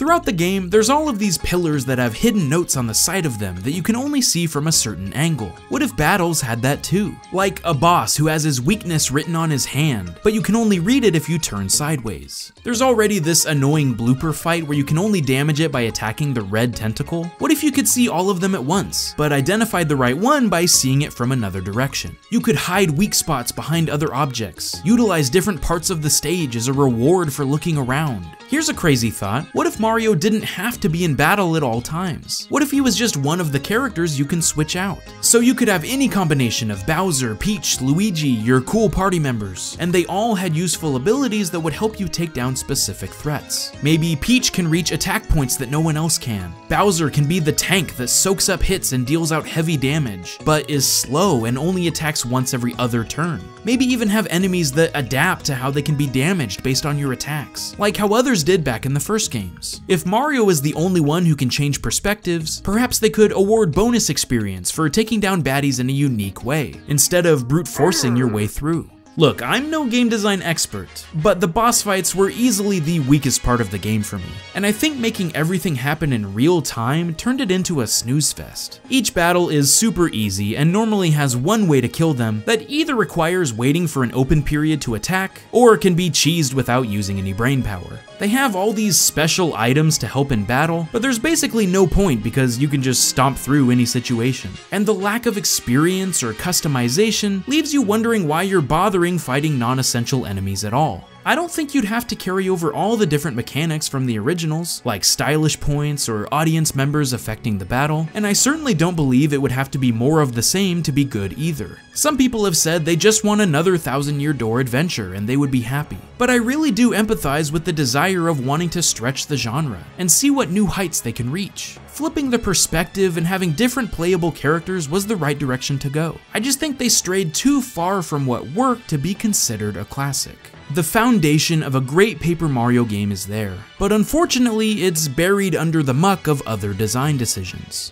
Color Splash, on the other hand, whew, oh boy, I think it's beyond saving. Which really sucks because, I mean, just look at it. This is exactly what I would picture a Paper Mario game in HD to look like in today's day and age. It really is beautiful. If this latest entry on the Wii U has anything going for it, it's strong visuals and great writing. Jokes are top notch. It definitely has the humor that the series has become known for. And the different paper aesthetic changes the environment goes through are clever, reminding me of Kirby's Epic Yarn or Yoshi's Woolly World. And, uh, I guess smacking stuff with color was pretty alright too. Look, I'm sorry guys. I really tried to come up with more good things to say about it, but that's about all there is. I think there's two major problems that rob the rest of the experience from truly being enjoyable. And the first is probably the most common complaint people cite about this game. They took away any originality from the characters and instead replaced them with generic toads. Toads everywhere! This is the most peculiar change I can think of for a Paper Mario game. The unique and interesting people you meet along your journey is exactly what sets the series apart from other titles. 64 had a town full of toads, but at least each one had a different look, name, and personality. The only thing separating these characters from one another is their color and the occasional scarf. They sort of use the fact that they all look the same as a joke here and there in the gameplay, but it's more than just toads. All the enemies you face are equally boring and cookie cutter in their appearance. Sucking the life out of paper beings seems like a Shy Guy thing to do. But where are all the other types of Shy Guys that we've seen before? They aren't even different colors. Goombas, Koopas, Cheep Cheeps. They're all based off the most common version of what you'll find if you Google image search their names. But the stripping doesn't stop there. Mario no longer has any form of party members, and the combat is scaled back to the most basic form I can think of. No experience, no badges, no leveling up and choosing your stat upgrades. Instead, now you have disposable co-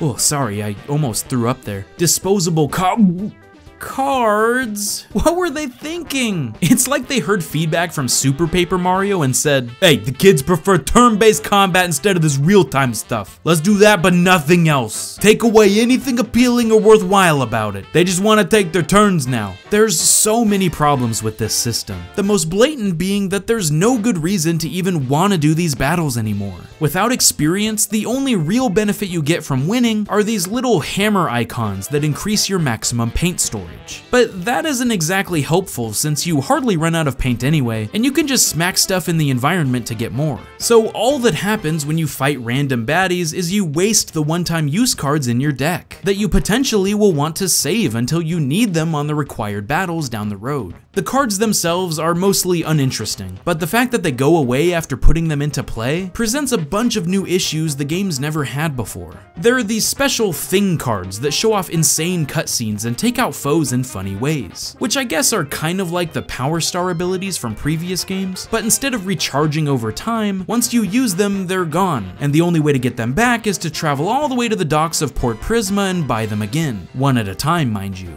Now, this is a bit more of a personal preference, but I also hate that you can't tell exactly how much health an enemy has. As you smack or jump on them, you can see their colors start to fade away, but you also can't tell how much damage your attacks do either. So it's basically a big guessing game. One time I might use more cards than needed to finish off a crowd of baddies, which sucks because you lose any card you've played even if it's not employed. But then the next time I'll be more conservative with the cards I use, and for some reason that enemy won't take nearly the same amount of damage, so I'll have to wait a whole extra round to finish the job. Knowing your adversary's stamina and the output you're capable of dealing is what made the originals so strategy intensive. Planning three steps ahead or adjusting your actions based on how a boss reacts was thrilling. I've already talked about how the overall lower numbers and exact science made everything more manageable compared to other RPGs. Here, you start with 50 health, and I never really got below 30. It's way too easy and forgiving with health drops, and it feels like a crapshoot of whether your attacks will be enough to kill a particular guy or not. But this is all compounded by the worst aspect of the entire game. The fact that everything is so slow. Combat is just one of the many components plagued by snail-like pacing. To attack, you have to select your cards from a big ol' list of them, and sorting doesn't help because it puts your items on top for some reason, instead of, I don't know, your best abilities first. Then you have to paint them to power them up, then swipe up to wait a few more seconds, and finally begin your turn. Yes, there's action commands, but they're one of like three categories and only involve pressing the A button at the right time. Combined with the fact that there's no reward, it just makes the prospect of any optional battle a huge hassle and very annoying when you accidentally bump an enemy or get jumped by an unavoidable goon. But it gets worse. Color Splash continues with the level-based stage layout, removing any semblance of a connected world, and after gathering a paint star, it boots you out of the area. This wouldn't be bad if there was only one collectible to find, but several times I found multiple stars that I wanted to grab. But nope, instead you have to go back into the level and traverse the annoying hallways of enemies again until you find the next star that's just sitting there ready to be taken. There's these bonus temples where you play rock, paper, scissors in a tournament bracket. You know, like the fastest game in existence. Nah, here you have to place your cards and watch it play out in slow motion apparently. And since it's mostly random, I guess you'd better get used to playing it over and over again if you want to conquer them. On their own, some of these decisions are excusable, but they combine together to make a story that drags way longer than it needs to. There's all these roadblocks that make even getting the first major paint star a pain to reach. Unlike previous games where you can find the first main collectible in an hour or two, this game goes out of its way to extend your playtime to agonizingly boring lengths. Forget mini bosses or unique locations, it'll take hours to go through bland fields and the same waves of enemies before you have to find the special key toads to unlock this gate, and then get stomped by the first major boss because you didn't have the one particular item required to beat him. So you have to go through the entire castle again after getting the right power up, and then you get the first star. Woo! Maybe it's because I played all of these Paper Mario games back to back, but I could not be bothered to keep playing. I'm sorry, but I, I, just couldn't. I would love to come up with some sort of way to rescue this game, cite my own version that would have fixed it and made it a worthy successor, but it's too far gone. They would have to scale back every single element except the core maneuver of painting the environment. Start from there, keep the wacky arts and crafts spectacles, but change everything else. There's a lot of speculation about why this happened conversations behind closed doors with Shigeru Miyamoto, and the development team being forced to use more basic characters, blah blah blah. But one thing is surely clear. This is not Paper Mario. At least not what I've come to know the series to be. This is a totally different game, and one that may have actually done okay if it didn't have such a prestigious title attached to it. It's funny, there's a lot of things I don't like about Super Paper Mario, but its strengths really become apparent when you see a version where they're all missing. At least it was unique in story, locations, characters. They couldn't even be bothered to come up with a new paint monster as the main villain. It's just back to basic Bowser. Without a doubt, nostalgia is a powerful thing. Even after hearing all the negativity concerning Color Splash, I still got excited when I ordered a copy for this video, thinking there would still be some semblance of what I loved in there somewhere. The series means a lot to me, and I fear that it will only be in memory if the recent titles are anything to go off of. But who knows? We've seen some crazy spiritual successors fill a void that fans have been yearning for. In fact, in the process of writing this script, an indie game called Underhero came onto my radar, which cited Paper Mario as one of its major inspirations. It has a lot of cleverness and charm in its story since you play as a bad guy instead of the typical hero. But the best part is its twist on battle mechanics. You dodge and attack very similar to the action command system, but everything happens in real time. You have a stamina meter that refills as you successfully avoid incoming damage. So while you can just spam the attack button, you have to balance it with being winded and vulnerable. It even deals a critical hit if you pull off a groovy shot. But since it's not turn-based, this occurs when you swing to the beat of the background music.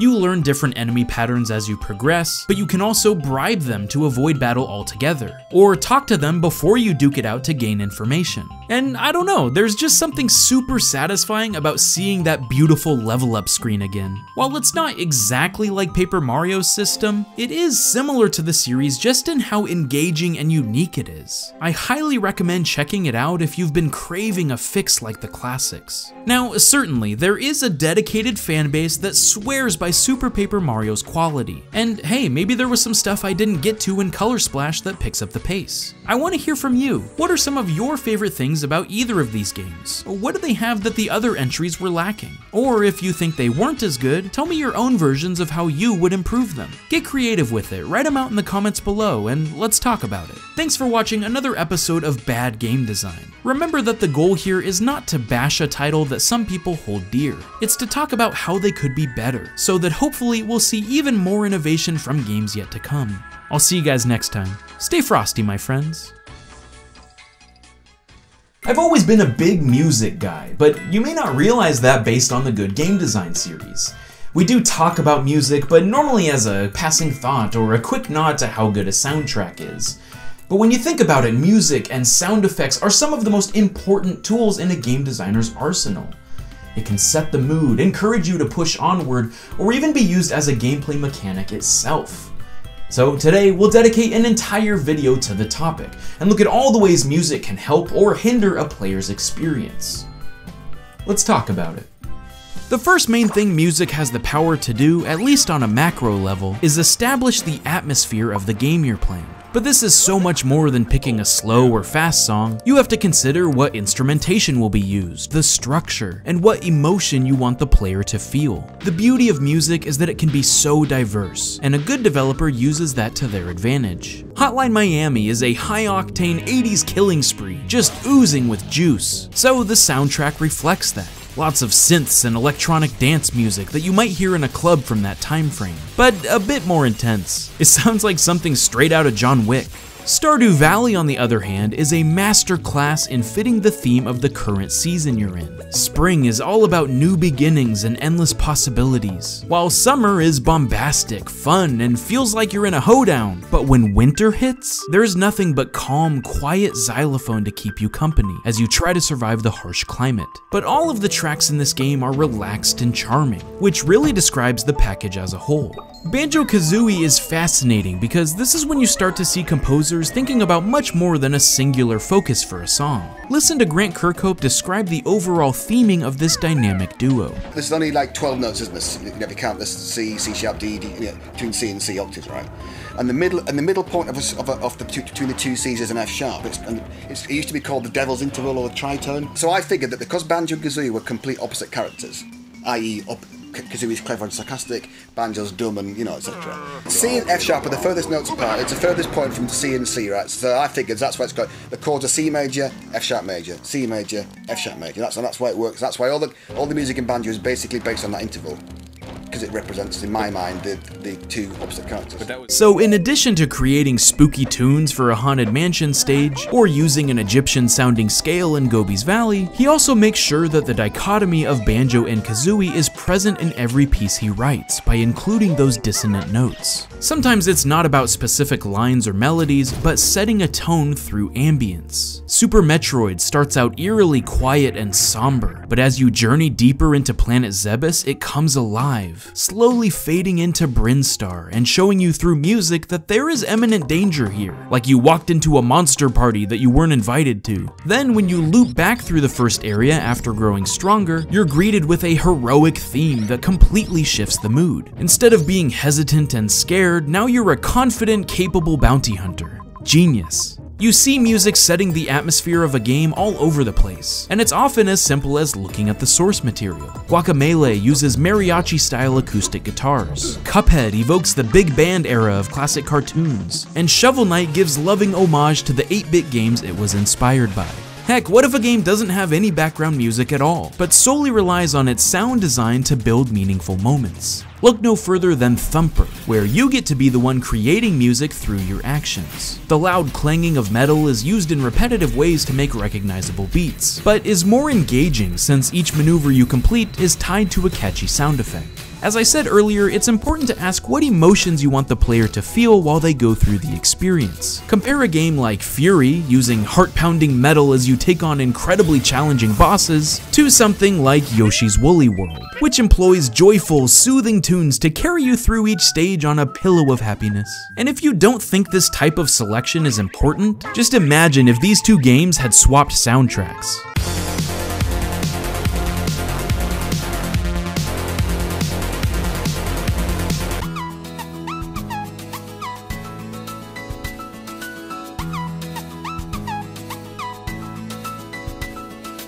Now, more on the micro side of things, music can also be used to inform the player about the current situation they find themselves in. David Wise is an expert at using samples from the setting of a stage to give more life to his compositions, like chirping crickets in the forest, bubbling lava in volcanoes, or even screams from children in an amusement park. The wind is a backdrop while you're flying high on a ship's mast, and this driving scale used while navigating a dangerous hive sounds like bees buzzing all around you. It not only creates a catchy melody, but makes the world feel rich and real. The Messenger adds a neat little muffle filter to the music when you go underwater, which is a nice touch. But if you're willing to put in more effort, a fully recomposed version of a track makes a big difference. Like when you enter a dank cavern in Banjo-Kazooie, or hear a chilled out version of the main theme on the pause menu. Man, Grant really is the best at sweet pause themes, isn't he? But something that the Messenger really did do well was program the game to completely swap between 8-bit and 16-bit versions of the songs and sound effects whenever you jump through a time portal. It really feels like you're playing two separate games at once. Portal 2 is normally devoid of music, but will use intriguing sound effects when you gain momentum on gels, or even play simple notes when you connect a laser, which adds character to the situation, but also helps guide you toward a puzzle solution through sound alone.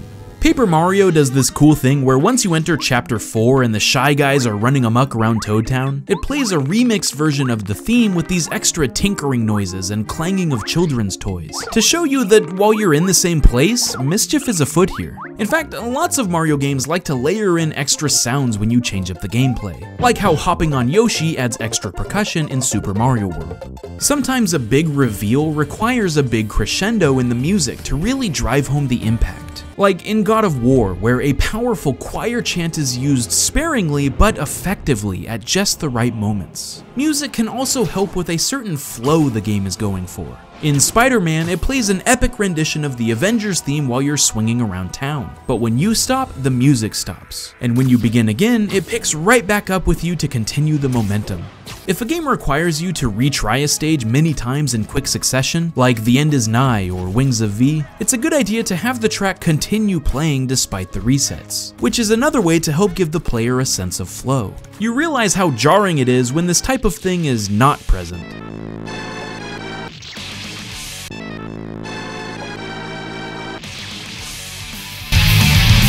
Finally, in addition to setting the atmosphere or building off the current situation, there's also a ton of other really cool things music can do in gaming.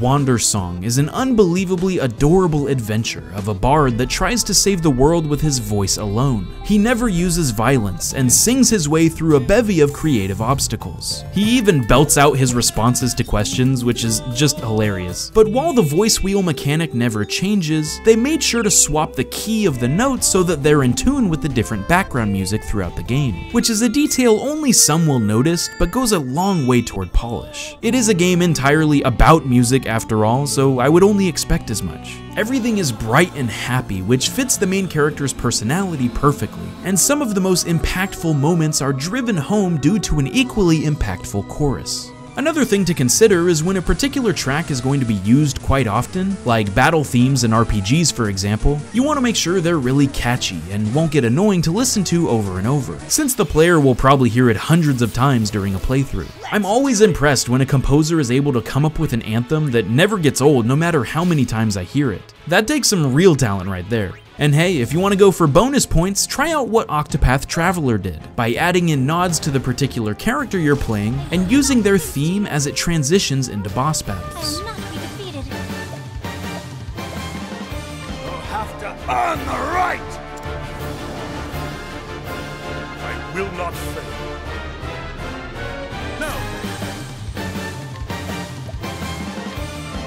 No! Let's get this over with. All right. This is an insane amount of work, but really blends the different paths together into one cohesive experience. In fact, uh, let's talk about motifs, because they probably pop up more often than you would originally think. This is when you take a specific melody or part of a song and bring it back later on to emphasize a point. Sometimes this can be a simple character theme that plays whenever they pop up on screen, but it can be more than that too. Ori and the Blind Forest has a beautifully memorable main ballad, but it shows up continuously throughout the adventure, often at very important or pivotal moments in the story.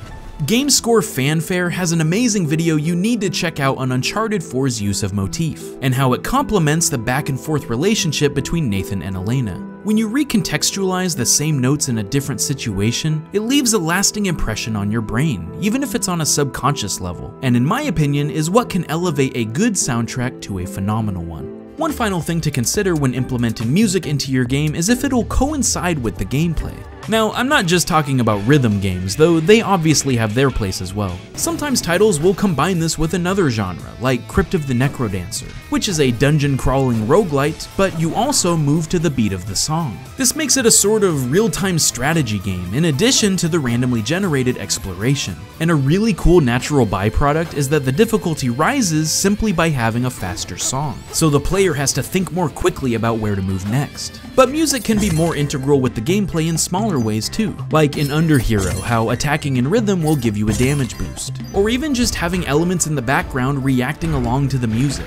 I'm a sucker for any stage that has obstacles bouncing around in step with the song. I mean, come on, you're gonna tell me these Koopas dancing to the beat isn't adorable? Get out of here. If there's one thing to remember about music in video games, it's that it can be so much more than background noise. Many, many games have passable soundtracks that get the job done, but don't have any meaningful impact on the experience. When designing a game, I think it's important to think about all the aspects, not just the gameplay or visuals, and how they can all complement each other to make something memorable. The difference between a good song and a great song is one that has connection. Why does this particular piece fit better than any other? Is there something missing that could help nail the emotion we're going for? How can I better show the player what I'm trying to show them? All the different pieces are in play at the same time whether you like it or not, so make sure they're in harmony.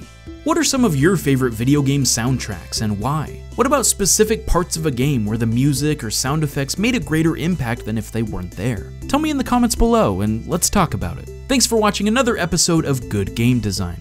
I'll see you guys next time. Stay frosty, my friends. The 90s gave birth to 3D gaming, and with it came a new genre we lovingly refer to as collectathons. These quickly became some of my favorite titles. There's something about gathering all the various items and collectibles in a world that gave me such a satisfying feeling. And now, with a few modern examples expanding the formula even further, I wanted to discuss what exactly makes these collectathon games so fun to play, and what's the X factor that makes a great one truly stand out amongst the rest. Let's talk about it. First of all, I think we have to determine what defines a collectathon. There are a lot of 3D platformers out there, but only some are focused on collecting multiple things throughout the numerous levels. So for this discussion, I'm going to narrow our list to games that have more than one collectible that's recorded in a pause menu. Jiggies, notes, and extra honeycombs for example, not just power stars. While certain games obviously blaze the trail for this genre, I want to make sure we're analyzing the marathon aspect of these games specifically. Because of the shift in focus and many hours you pour into them, there's a natural inclination toward fatigue with collectathons. But they implement little mile markers along the way to keep you pushing through that exhaustion, which is a major aspect of what sets them apart from other platformers. Also, there are plenty of titles that I haven't played, so don't be sad if I don't mention every one of them, okay? So what are the iconic features that make games like Banjo-Kazooie and Spyro widely loved, and games like Donkey Kong 64 and Yooka-Laylee largely disliked? Let's start with the most obvious, map size and layout.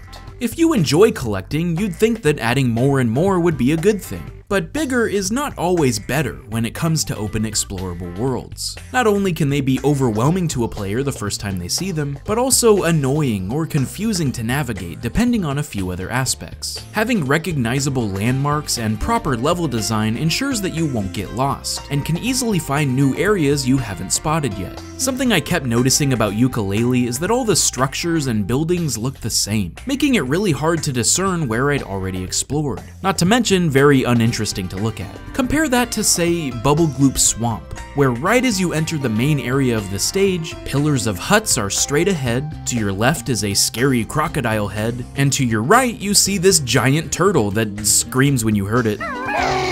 Each location feels like a ride at an amusement park. You want to see what kind of fun is waiting around the corner. Banjo-Kazooie was incredible at this stuff. Each section of a stage was defined by their memorable landmarks. Pirate ship, crab, sandcastle, lighthouse, snowman, Christmas tree, cabins, walrus.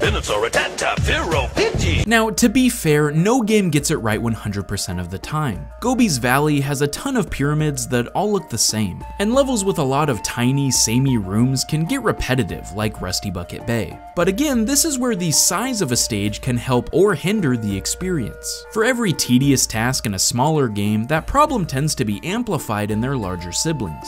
As a rule of thumb, I like to think that if your level requires warp pads to get around effectively, it might be too big. Not because they're inherently bad themselves, but because it means there isn't an efficient way to get around without them. Now, of course, I caught myself in a lie there, because Super Mario Odyssey is guilty of exactly this. Huge stages with lots of moving parts and checkpoint markers if you need them. So what exactly makes that an okay example versus say Banjo-Tooie? Well, in my opinion, it's what many people thought was a negative of the game. There's collectibles everywhere. Tons and tons of moons are littered all throughout these stages, as well as purple coins and many other goodies. It's sort of the same principle as Breath of the Wild. In order to guarantee you're always finding something new within a short proximity, there needed to be a megaload of items spread across the land. This is where Yooka-Laylee tends to drop the ball. It's got the giant worlds, but not a lot to do in them. Donkey Kong 64, on the other hand, has giant levels as well as a crap ton of collectibles, but what it lacks is the next major component of a good collectathon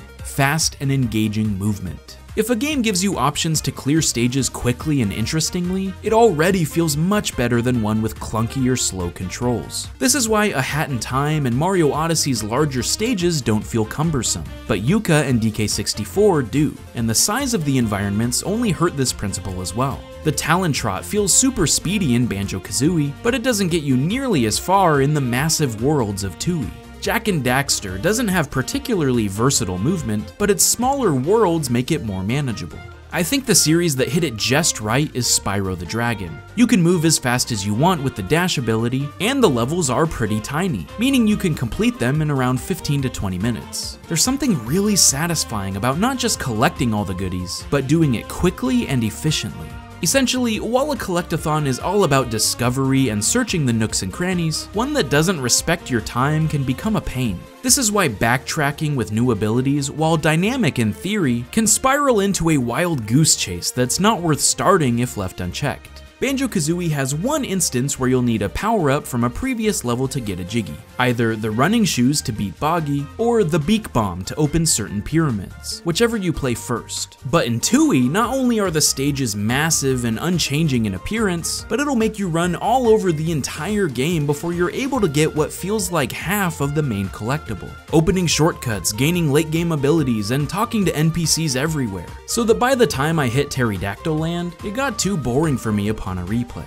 So that covers the stages, importance of size, and speed of playability. But what about the collectibles themselves? It probably doesn't matter where they're put, right? The players will find them eventually. The whole point of the game is to search and find them. Well, not necessarily. The beauty of having so many things to collect is that they can be used to guide players through the levels. The best collectathons I've seen litter them as breadcrumbs toward various activities and secrets, which not only helps to find the main path if the player gets lost, but can also mark an area that hasn't been explored yet. If you follow the coins, you're bound to find something new. If they're placed at random or as decoration, it's a missed opportunity for some clever level design. Now, a Banjo-Tooie still had notes, but condensed them into sets of 5 and 20. And while they still are used along the major walkways, there's simply much less of them to work with in terms of laying out the intended paths. Which is a shame considering how much larger the worlds are this time around. DK64 definitely crams all kinds of goodies in just about every spot imaginable, but has the unfortunate element of not being able to collect them if you're a different Kong, which leads to many monotonous trips back to the tag barrel in order to gather everything. When done right, collectibles can essentially be your tour guide along the route of exploring the stage, and make sure you learn where things are in relation to one another, while easily moving on to the next major attraction. Finally, it's nice when each of the various collectibles have their own intended purpose. Some games end up being redundant, whether intentionally or not, like in Jak and Daxter. Yes, the precursor orbs help to guide you, but their only real purpose is to trade them in for power cells with the villagers. And the scout flies are more like the red coins in Mario 64. All of it boils down to the one major roadblock, needing power cells to proceed. This isn't always a bad thing, but uh, look at how Spyro 2 handles it. You need talismans from each stage to move on to the next area, you use gems to unlock new pathways with money bags, and in the third world you need a certain amount of green orbs to open the final boss. Each goodie has its own reason for being there, other than, you know, something shiny to find and feel good about. Banjo-Kazooie uses puzzle pieces to open stages, notes to unlock doors, and extra honeycombs to increase your health. DK64 has banana boss doors, golden keys, coins for the shop, B-Locker in your way. Whew, yeah, that's a lot of stuff. But even better is when there's special rewards for completing the game 100%. Again, Jak and Daxter falls a little flat here. It teases you with a door that needs all 101 power cells to open, but when you do, it leaves you with a cliffhanger. Bummer, dude. But this begs an important question. What should a good completion bonus be? Sometimes games will give you a benefit after completing everything there is to do, so there's not much purpose to the reward. It should be something that's enjoyable and useful, but maybe also include lower tiers of bonuses along the way. Spyro 1 unlocks a final celebratory level at 100%, but Spyro 2 opens a theme park to play minigames at a smaller fraction of all the collectibles, in addition to that total reward. Even Mario Odyssey doesn't have the best completion bonus out there, but to be fair, the best stuff is unlocked at particular intervals of 250 and 500 moons. I don't think Nintendo expected most players to actually gather everything, again showing that there's so many moons to collect all over the place, but you don't have to bend over backward to see the grand finale. Banjo-Kazooie really gets it right here. After finding every Jiggy, you double your maximum health, which makes the brutal grunty fight so much easier, as well as egg and feather stockpiles for when you run out by getting all the notes. That being said, the minimum requirement to beat the game is probably a little high, at 94 Jiggies and 810 notes. Ouch.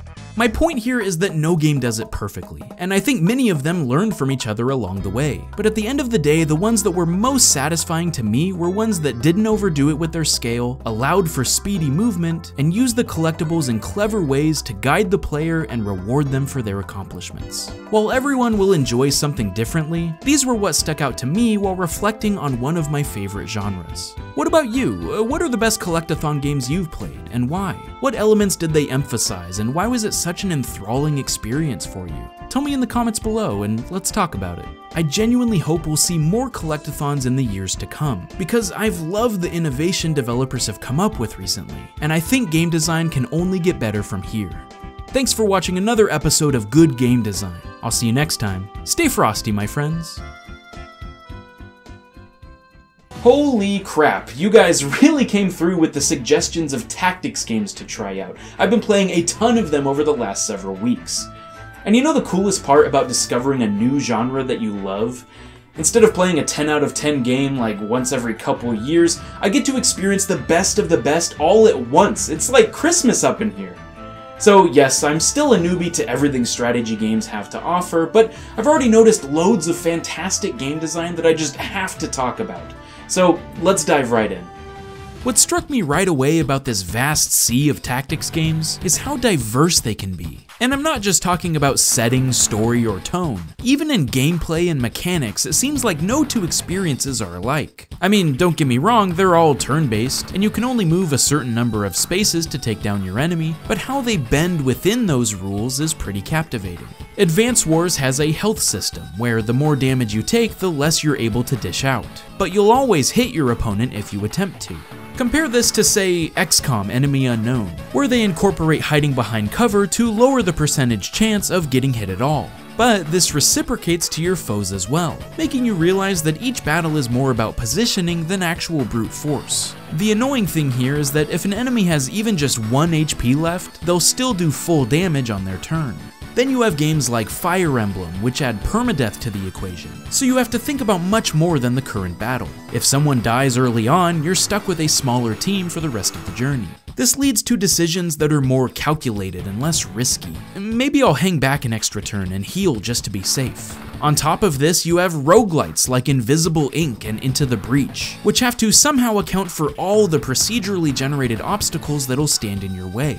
Pit People wants you to plan your entire turn at once instead of one action at a time. SteamWorld Heist is a 2D side-scroller. Final Fantasy Tactics throws in a directional facing system, where you'll have a harder time landing a hit if you attack from the front. Uh, The list goes on and on.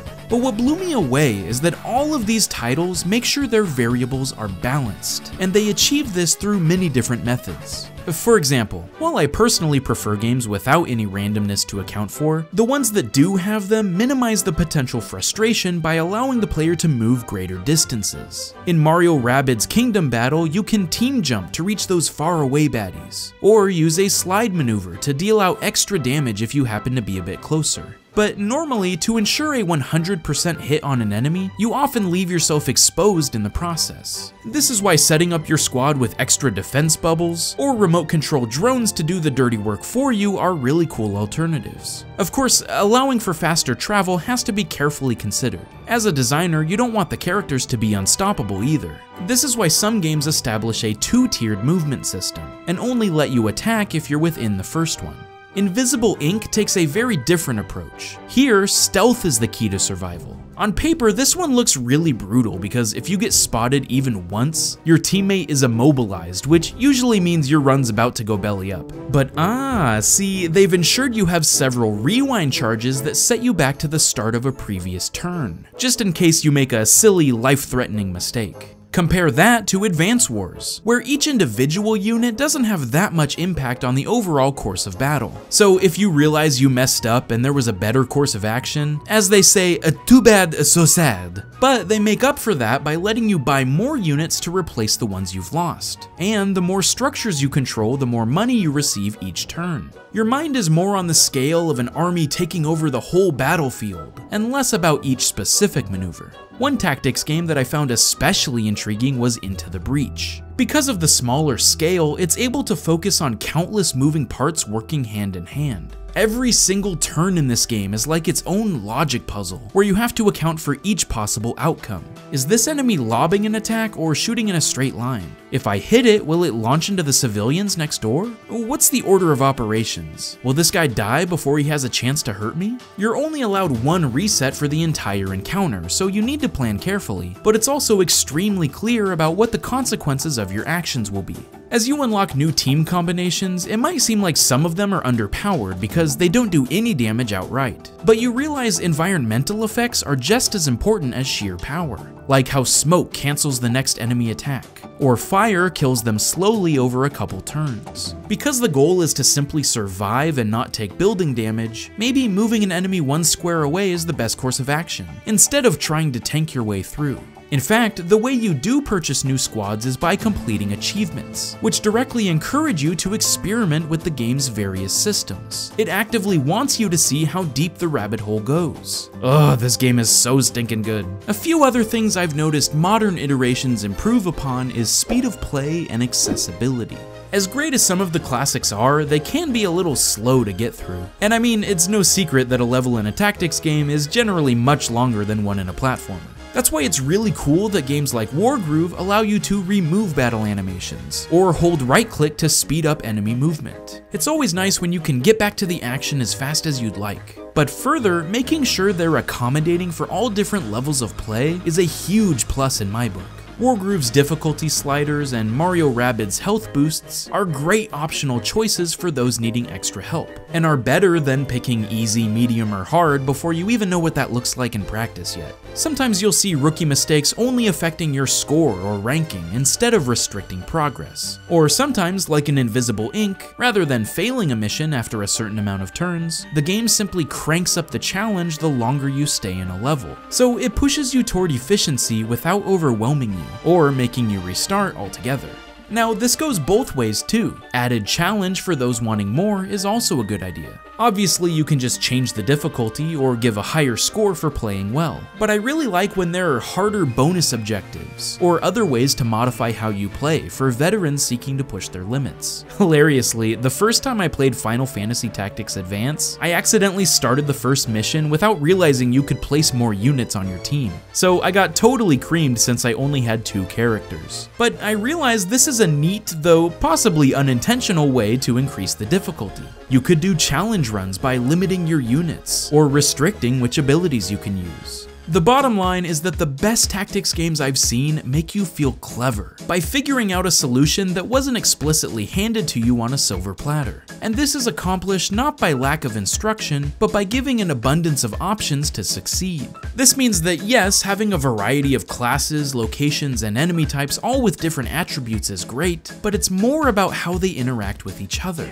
So maybe this means in addition to making sure your weapon is strong against the enemies, you move to more difficult terrain as well to lessen their chance of hitting you back. In the Rabbid Kong boss fight, he regains health from his hoard of bananas, until you press the button to drop them into the depths below. But in doing so, you'll get pummeled by a retaliation attack. So maybe the drone can be more useful than just fighting from a distance. You could move it onto the button to save yourself some unwanted damage. The best strategy in Into the Breach seems to be blocking enemy spawns by standing on top of them. You only lose 1 HP and then never have to deal with it. But even better if you can move your opponent onto one of those spaces. Not only will it block incoming spawns, but hurt that ugly alien bug as well. Yeah, a 2 for 1 special. Or sure, you could simply push a foe out of range from attacking a building, but instead you could teleport it over some water and drown it immediately. This stuff is genius. The obvious choice isn't always the best one, and finding that sweet spot of a perfect play, man, there's nothing like it. But you see, I think they're designed that way on purpose. By having a ton of choices, you open the doors for creativity to shine. The tricky part is making sure that everything is balanced, and a particular strategy isn't overpowered to win every time. Some games include tide turning special abilities but put them on a cooldown, or can only be used once per battle. Others give these skills to important characters that must stay alive in order to be victorious, so you may keep them further behind despite their potential on the front lines. Either way, tactics games thrive by making you think before every action. And because of their slower nature and higher punishment for mistakes, you feel rewarded when you figure out the optimal solution to whatever is thrown your way. Have you ever had those aha moments while playing tactics games? Tell me about your favorite ones and why they stuck with you. What is it about these titles that give you an experience unlike any other genre? Tell me in the comments below and let's talk about it. I have been having the time of my life playing through these games, and I can't wait to see where they'll go next. If there's other genres you'd like a video on that I don't normally cover, be sure to let me know as well, because if they're anything like the broadened horizons tactics games have shown me, I'm all in. Thanks for watching another episode of Good Game Design. I'll see you guys next time. Stay frosty, my friends. Oh, hey, sorry guys, give me one second. I gotta reach the level of Chocolate Chip Sensei. Okay, and we're good. Whenever I think of clicker, or sometimes called idle or incremental games, I get really confused. They're essentially the most bare bones experiences when it comes to actual gameplay. You just click numbers to watch those numbers go up, and then wait for other numbers to increase so you can click more numbers. So why in the world are these games so addictive? I've seen countless people, myself included, get sucked into the same trap time and time again. Why do we keep playing them knowing they're so inherently shallow? Let's talk about it. Ooh, golden cookie. In case you've never played a clicker game, they're called that for a reason. Your only mechanic is to click things on screen, and you'll be doing it a lot. Most all of these titles follow the same structure. You start out with nothing and need to click your way to the first upgrade, which will automatically start clicking for you. And you build from there until you have an army of enhancements, so you don't have to click at all to gain resources. These increase in power, but also jump exponentially in cost the further you get. So eventually this leads to major progress walls, where you'll have to wait for your currency to get high enough to purchase the next upgrade. This is where the moniker idle games came in. The longer you play, the more you'll have to wait. So many people just let them run in the background while they do other things, until they can play again and then repeat ad nauseum. Now, many clicker games get around this becoming boring by introducing a prestige system that allows you to completely reset your progress to the beginning but with a permanent buff to your click power, so you can get back to your original state much faster and beyond to higher heights from there. On top of this, several games include little bonus clickables that appear on screen for a limited time, which allow you to have an extra boost to your productions, while others keep collecting even when the game is turned off. So if you go to bed and come back in the morning, you'll have a nice pool of money to spend. Either way, this system has drawn in huge audiences that keep coming back day after day to watch numbers rise, with no other purpose than that alone. And nowadays, it's spawned countless wikis and thousands of different iterations, complete with memes and terrible art assets galore. Who puts corn on pizza? How did something that started as a joke to make fun of grindy game mechanics turn into an industry behemoth that's so alluring? What caused me to drop over 60 hours into Adventure Capitalist without even realizing it? It just doesn't logically add up. Well, we're about to get scientific up in here. Strap in, snow babies. There's a few different psychological elements going on in clicker games, uh, but let's start with the most obvious. We as humans love reaching goals. If there's something you've been working toward, it feels good when you finally achieve it. And at an even more basic level, we just like watching numbers go up. They did experiments on animals in these things called operant conditioning chambers, or Skinner boxes named after their creator, to see if giving a piece of food would encourage the animals to keep doing a desired repetitive action, or in some cases punish them for not doing so. And wouldn't you know it, of course they kept doing the random simple task, because they got a treat out of it. In gaming, we see this all the time. Besides obvious comparisons like slot machines or loot boxes, this is also why achievements are so effective. It feels good to be rewarded for your actions. And instead of only getting that feeling of satisfaction when beating a game, this is taken to the extreme in incremental games because you gain achievements all the time. In fact, it seems to be what the entire system is based on. So if you don't feel like you're accomplishing much in your real life, whether you're just bored or simply going through the motions, you can boot up an idle game and feel rewarded over and over again, and with very little effort needed. Progress feels good, even if it's in a silly video game. But in addition to this, you're dealing with our need for closure and something called the Zeigarnik effect, coined by a psychologist named Bluma Zeigarnik, but you can just call her Miss Z for short. She basically found through her research that people remember incomplete tasks better than ones we've completed, and I'm sure you can attest that this is true. I can't tell you how many games I've beaten, but I can definitely remember the ones that I haven't. The games that bested me stick out like a sore thumb in my brain that desires order. We want goals and tasks to be completed, so when they aren't, we'll put in the effort to finish them. This is why you see people like the completionist, or those satisfied when they get another platinum trophy. There's a sense of relief when you achieve your goals. So, with all that considered, are clicker games really all that bad? Is it hurting anyone to have games that focus on those aspects of our brain? Well, from a game design perspective, I would argue that yes, it is, and for two major reasons. One, there is no ending to these games, and two, it uses real time as a mechanic. Let's break it down a little bit. So, yes, while you can complete various tasks throughout your playthrough of an idle game, without an actual win state or end in sight, there will always be this sense of lingering desire to play more. It'll never go away because there is no final accomplishment. You can see everything the game has to offer, but your numbers will keep going up until they simply don't mean anything anymore. Eventually, it feels like the only reason you'll keep playing is because of the sunk cost fallacy, where you'll tell yourself, I've already spent so much time building up my stats, it would be a waste if I quit now. And even if you reset with an added prestige bonus, that feeling of satisfaction will quickly become more and more fleeting, as you realize the entire experience is ultimately pointless. But even from a more tangible design aspect, it's my opinion that using real time to drive your progress is a manipulative practice. The hilariously ironic thing about idle games is that the best way to play them is to actually not play them at all. If you go away and focus on other things and then come back after not playing for a while, you'll have a much larger amount of resources to spend than if you sat there and watched it the entire time. Now, I'm not talking from an optimal strategy perspective, but simply from a perceived enjoyment point of view. When you wake up and come back to your game that's been collecting money all night, you can spend it on bigger upgrades than if you kept buying smaller things as they became available.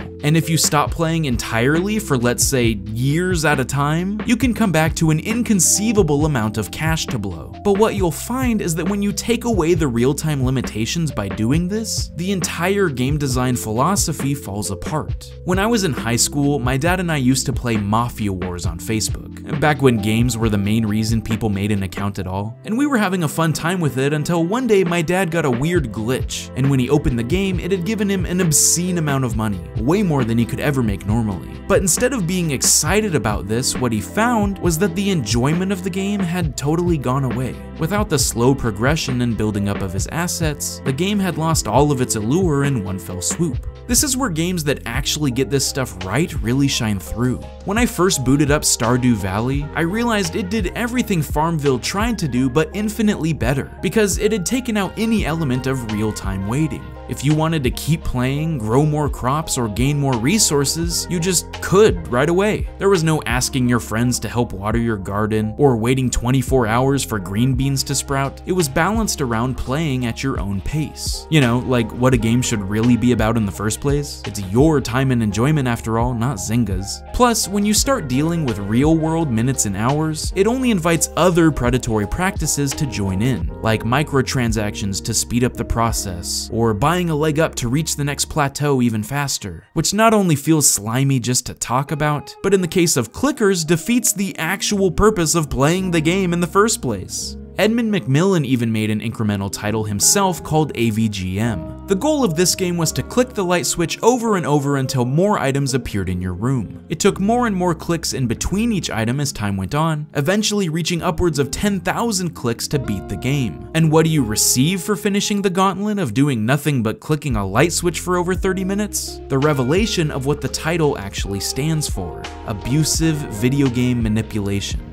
At the end of the day, that's really what it is. Do you have to play them? Of course not. And I'm not saying you're a bad person for playing them, I'm guilty of this as well. But when you sit back and look at the big picture, they highlight how many different games can take advantage of our subconscious desires, to steal our money at the worst, but our time at the very least. And to me, in no way can it be considered good game design. They've sort of dropped off in popularity in recent years, but I've noticed the techniques that they employed are still cropping up all over the place, especially in the mobile game space. It's no secret that microtransactions seem to be the mainstream way to get people to pay for your free to download title these days. But I want to encourage you to support creators who are making actual quality experiences without predatory practices. And be sure to look out for the next big game that might try to swindle you behind your back. We've come a long way from Horse Armor DLC, and have accepted shady business strategies today that would have been unanimously condemned 10 or 15 years ago. I guess I'm just trying to say to be diligent, and make sure you know what you're getting into before you click on that next big shiny cookie. Thanks for watching another episode of Bad Game Design. I'll see you guys next time. Stay frosty, my friends. Baba Is You is the best puzzle game I've ever played, and in fact, maybe one of the best games I've played, period. For the uninitiated, this is a simplistic looking puzzler all about changing the rules to succeed. So, for example, you may enter a level that seems impossible at first, but by interacting with the various words scattered around the stage, you can change the sequence that says wall is stop, so that you can move over walls and create the sentence flag is win to beat the stage. You quickly realize that the possibilities are endless here. So you can turn yourself into a rock, adjust what object is the goal you need to touch, and even warp the level in crazy ways that'll make your head hurt. It becomes apparent that Baba Is You is less about moving a little, I don't know, bunny, sheep. Wait a minute. Baba is you.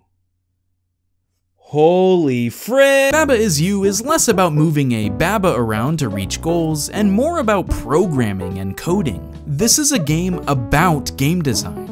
The hook is that there are literally over 200 levels. So much like other indie darlings such as Celeste or Super Meat Boy, it seems like the game never runs out of content and always has another trick up its sleeve. The trailer does a phenomenal job of showing what Baba Is You has to offer. And at first, I thought some of the rules it threw in were jokes, but nope, all of these mechanics are actually in there somewhere. Uh, let me put it a different way. Every single time I've booted up the game, it's accomplished three major things. Teaching me something new, surprising me with some of its solutions, and blowing my freaking mind. I really can't say that about most games. So if this interests you in any way and you haven't played it yet, consider this my spoiler warning. The rest of this video will pick apart why I feel Baba Is You is already one of my games of the year, and a must play even if you're like me and don't enjoy puzzle games that much.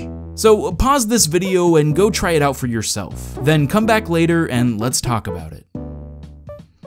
Here's a little more about how Baba Is You operates. The game is split up into various worlds on an island, and each section has an overall theme, but also tons of mini mechanics that it'll teach you within. Early on, you learn that if certain rules are on the edge of the screen or outside of your reachable area, they can't be changed. So in a way, these are the meta rules that you have to work with, while everything else in the middle of a stage is able to be manipulated. And for the most part, if it's put in there, it's for a reason. The most important modifier is you, because if it ever loses its object, you can no longer move and have to either rewind to a previous step or restart the stage. Other things can become you, but you have to change it in one move. Otherwise, you're just a cold, dead husk. Also, rules only work top to bottom or left to right. You can't make a backward phrase, it doesn't work like that. So there are some limitations within the game's rules, but you'd be surprised how much you're able to modify. Baba Is You is a very hard game. In my first hour, it already made my brain feel like a sawmill trying to churn out concrete, but I will say the learning curve is very good. Because of the vast amount of levels, it takes you on a tour of all the different ways it'll bend what you thought was possible at a leisurely pace. So you only slowly lose your mind, not all at once. At first you learn the basics, such as things that sink in water, keys that open doors, or that you can even make yourself win for an easy victory. But eventually it'll add in more complexity like teleporters, conveyor belts that push in one direction, objects that move on their own so you have to wait for them to finish a task, or the mind-melting X is X rule, which means that whatever object is reinforced cannot be changed, and your attempts at breaking the game are overruled. And those that have gotten pretty far into Baba Is You know that this is only scratching the surface. What this leads to is puzzles that are full of epiphany moments. Often you'll be completely stuck for a long while, and then feel like a total dummy when you didn't see the correct answer right in front of you. Even further, many puzzles have multiple solutions. So when you think you finally found that tricky aha moment they were wanting you to find, you might come back later and realize there was an easier alternative that you could have done all along. I like that they include bonus levels that are just little adjustments of puzzles you've bested. So if you thought one stage was easy, they'll test you further and say, okay, but without that solution as an option, how would you solve this? It really feels like the developers thought of every possible situation and know where your mind is headed. Countless times I started a stage and thought I knew the answer right away, but then there was a hangup I didn't notice, and I couldn't help but be angry yet impressed at their ability to follow the player's logic and make them take a step back to look for the correct path that isn't quite as obvious. Another thing that's pretty unique is that because of the static nature of each level, you can memorize their layouts and various puzzle pieces. So even if you're away from the game, you can still think on it and say, hmm, I didn't try that method yet, for when you come back to it later. The game builds to insane heights, where sometimes objects will hold other objects inside, so when they die, another thing pops out. Or you'll have to control two or more of the same character at once. Or even crazier, maybe you'll need to kill yourself by breaking the is you formula, but set it up in such a way that other things will move it back into place and you'll be past an immovable obstacle. Like, what? It keeps adding more and more rule sets, like gravity, being close to a buddy, otherwise you get lonely, and the not modifier, which does exactly what you think. So you can make not Baba is you and control everything else on screen. But don't worry, not not Baba is still just you. This game yet again keeps going, and into territory I haven't seen other games even touch upon. So I'm gonna go ahead and leave another spoiler warning here because from now on I'm getting into the real spicy stuff. Like, this is the kind of thing that you'll remember forever if you discover on your own, so you've been warned. Okay, on the map screen, you get little dandelions for beating a stage, and flowers for completing a certain number of them within worlds, which unlock new gateways and even more areas. But what you might have ignored right in the corner is that there still is the Baba is you and flag is win rules. This is so simplistic, I didn't think much of it either, until the game introduced the level mechanic. So by this point in the game, you're well aware that you can turn objects into other objects by saying rock is key for example. So as a joke, I thought, what if I made level is key? That probably won't do any. Whoa. Yeah, it actually made the level itself on the map a key. Which sure gave me a quick laugh, but the implications are huge here. What if I can turn the level into something else, like Baba? Oh no! That's right, the map itself is a level, and if you turn another stage into flag, you can win the map screen. You ready? It's time to put on your meta shades. From here on out, you know that everything can be manipulated, and you're constantly looking for another opportunity to change levels into other things. The game is so much less about beating stages anymore, but about how to actually proceed outside of them to find the next one. And the game knows it. Sometimes the win objective is super obvious, but you need to change the level to be able to unlock even more stages. Like I said, this game never ends, it's insane. If you turn one level into a rock and another into a baba, you can push it into the water to open the depths. And whoo boy, you become a skull, you gotta move the cursor onto yourself to move freely, but don't worry, even the cursor can become something else later on. You control empty space itself, you can unlock stages that have just letters that can spell out different words. You end up stacking different rules on top of each other to activate two things at the same time. There's rules that are hidden until you find them. You, oh man, I don't feel so good. Flag is end. Secret orbs? All is done. The Baba is you was the Baba is me all along. Almost one year ago, it seemed like the Mario Party series was making a triumphant comeback. After a couple underwhelming titles that changed too much of the core appeal, fans were excited to see a return to form, with individual movement across boards, and lots of new characters that each had their own unique dice blocks. Not to mention, they advertised online play with friends for a franchise first. It seemed like a slam dunk, but now, not only is Super Mario Party gathering dust on the shelf for most that bought it, it seems to be forgotten by Nintendo itself. How could such an easy win fall off people's radars so quickly? Welcome to another episode of Bad Game Design. Let's talk about it.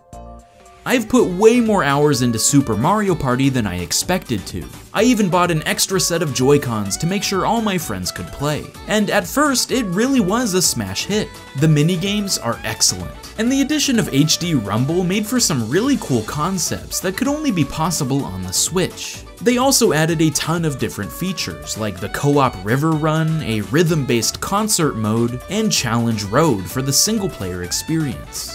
The problem is that the more you play, the less enjoyable it becomes, and the flaws start to take center stage. Obviously, the main attraction is Party Mode, but right away you notice the game only has three maps, with one more unlockable over time. If that seems low, it's because every other title had at least 5, sometimes 6 from the very start, and more you could unlock eventually. So immediately the replayability and variety is greatly reduced compared to past entries. But to add insult to injury, the online play they boasted about is only for one particular mode where you face off against 5 minigames and declare a victor. No boards, no other game styles, just Mariothon. Yikes. But the biggest gripe, and probably the most curious one, is that there has not been a single peep of upcoming DLC for the game.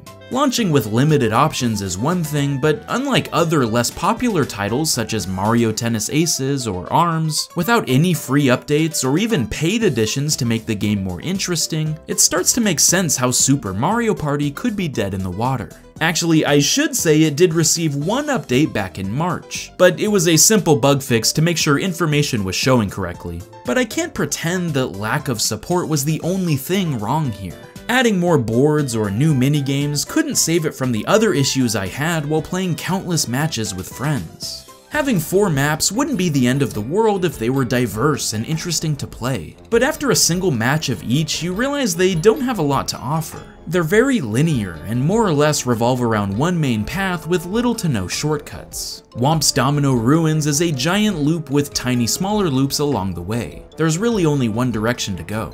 Kamek's Tantalizing Tower is a straight line with almost no deviation, and the star is always at the top, so high rolls are objectively going to be better here. Very little strategy involved. Megafruit Paradise looks the coolest, but is just four smaller circles with little ability to travel between them.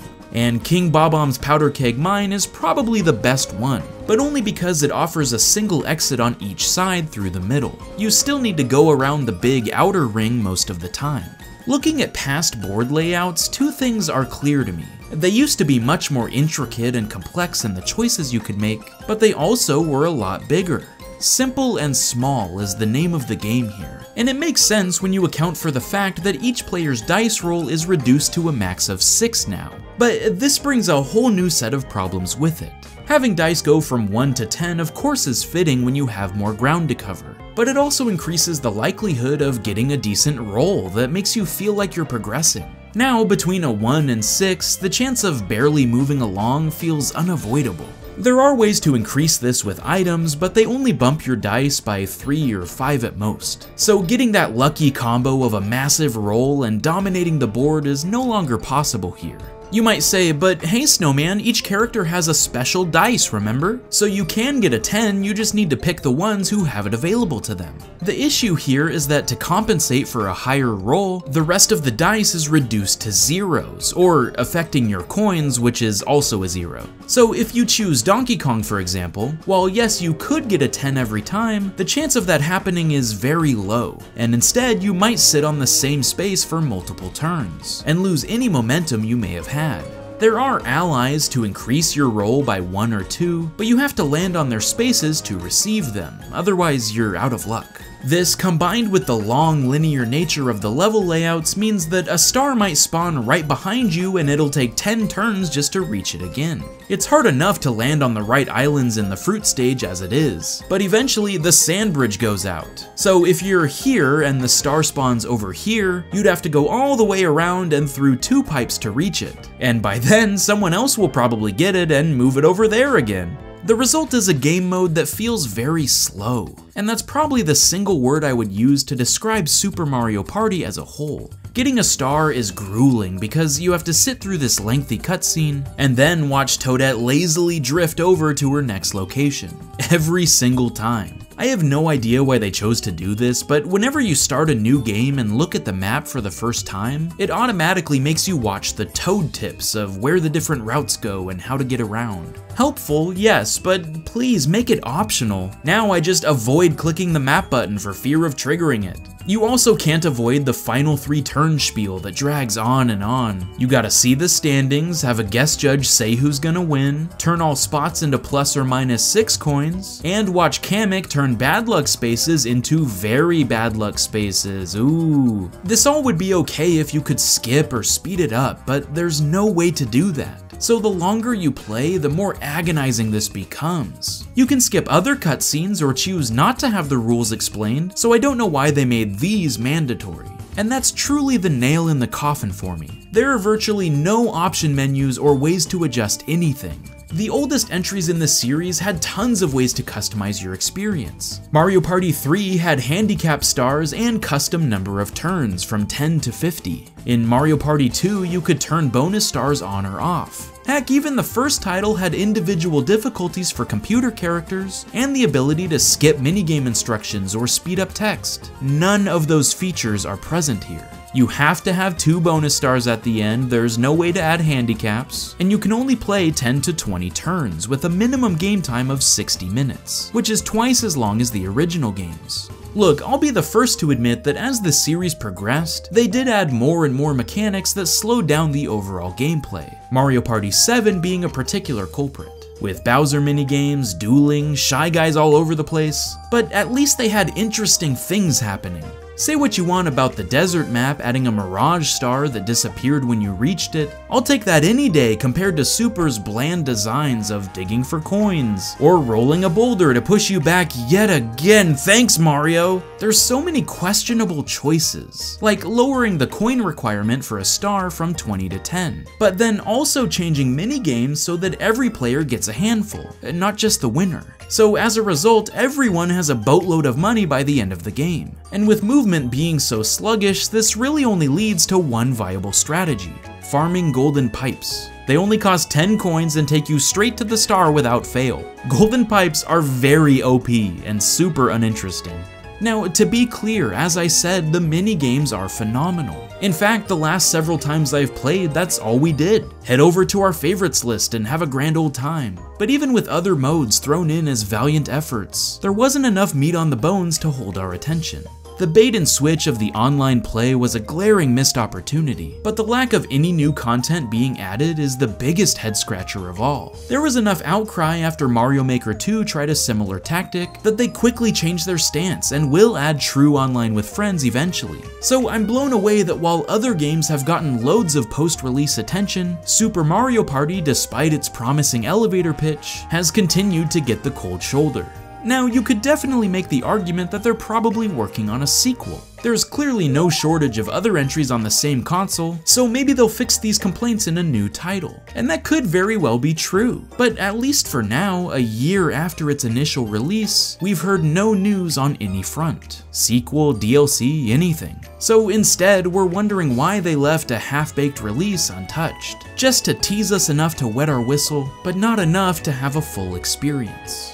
To wrap up, if they do end up creating a new entry instead, let's talk about what they could do to alleviate some of these issues. The obvious answer is to simply add more boards, but I don't even think they would need to reinvent the wheel here. What if they took the Mario Kart approach and threw in classic maps from the original games? It would be awesome to see the same clever layouts with an updated look, and a few tweaks to make them even more enjoyable. The charm of Mario Party 2, complete with outfits and ending cinematics fitting the theme, is yet to be matched in my opinion. I would also love to see way more options. Let me skip annoying cutscenes, customize my game settings, maybe even add specific bonus stars instead of just turning them on or off. That could add special challenge objectives in addition to collecting the most stars. I don't even mind the idea of having unique dice for each character, but they should definitely add more ways to travel farther. Bigger and more complex maps are preferred, but on top of this, it just feels more enjoyable when you're actually making progress, and have multiple ways to reach your goal. At the end of the day, the mini games are arguably the most memorable part of Mario Party, but I think we look back at them so fondly because the whole package complemented those heart-pounding game nights with friends. No matter where the series goes from here, I hope they remember that all the pieces have to fall into place to stand the test of time. If you could create the perfect Mario Party game, what elements would you include? Did I miss anything that would really complete the experience in your eyes? Let me know in the comments below and let's talk about it. Thanks for watching another episode of Bad Game Design. I'll see you guys next time. Stay frosty, my friends. A humble indie game by Mobius Digital came out last year with little fanfare, and I'm ashamed to admit it took me this long to give it a go, despite its incredibly high reception from friends. But now, after diving in, I was pleasantly surprised to find that it's a game unlike anything else I've ever played. That game is Outer Wilds.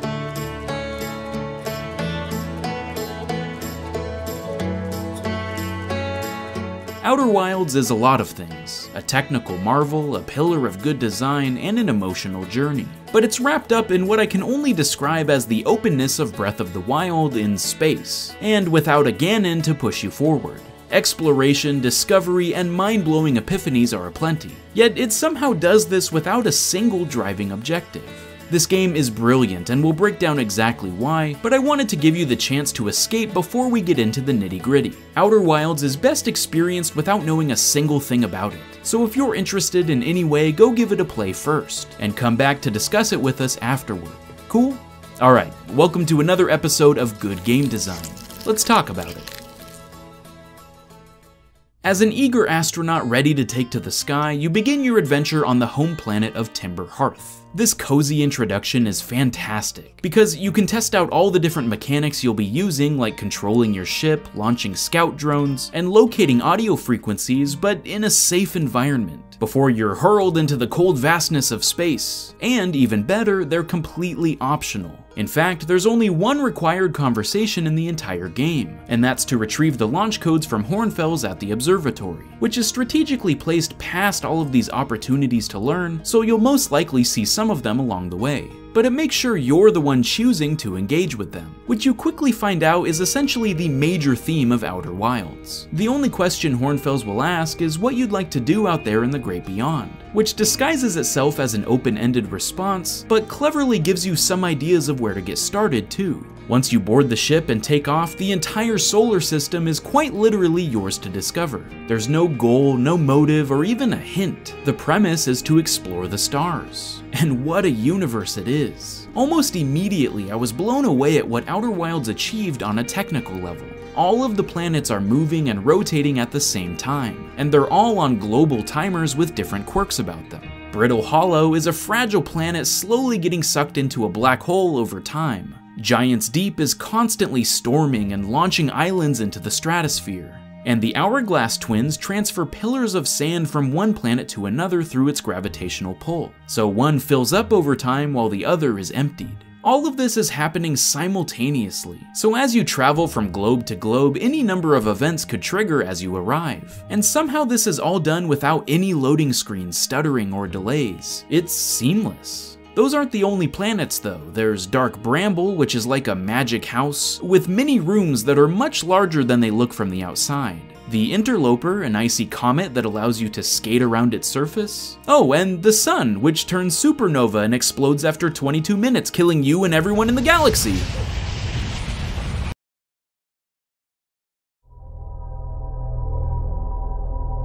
But then you wake up again, somehow restarting in an endless loop, thanks to these mysterious figurehead statues. Hmm. You start to realize there might be more to this story than just seeing the cosmos. The kicker is that Outer Wilds is so much more than walking simulators like Gone Home. There's puzzles, platforming challenges, even detective work you'll have to do to find out what exactly is going on here. And your arsenal of gadgets are vital to your quest as well. So even though I said their tutorials are optional, I recommend making sure you know how to use them. You'll find all sorts of contraptions that seem totally foreign at first, but are easy to understand once you start tinkering around with them. Like these projection stones that give you a vision if you stand near them, or balls of light that move upon sight to activate switches or doors. Because you only have a limited time frame to uncover the secrets each planet is hiding, you need to plan ahead carefully, otherwise you'll stumble upon a great new discovery just as you meet your untimely end. It also will take much longer than a single day. There are so many threads to follow once you really get your feet wet. I started to feel like Charlie after a while. Luckily, there are little bits of good game design to help ease the pain of your constraints. Once you've gone through a specific set of instructions to reach a hidden area, there's often shortcuts you can uncover to journey right back to it quicker the next time. These are always here, you just didn't know about them yet. Time will stand still as you're reading text or analyzing your ship log, so you don't have to stress about running out of time if you're a slow reader or just want to reflect on the information.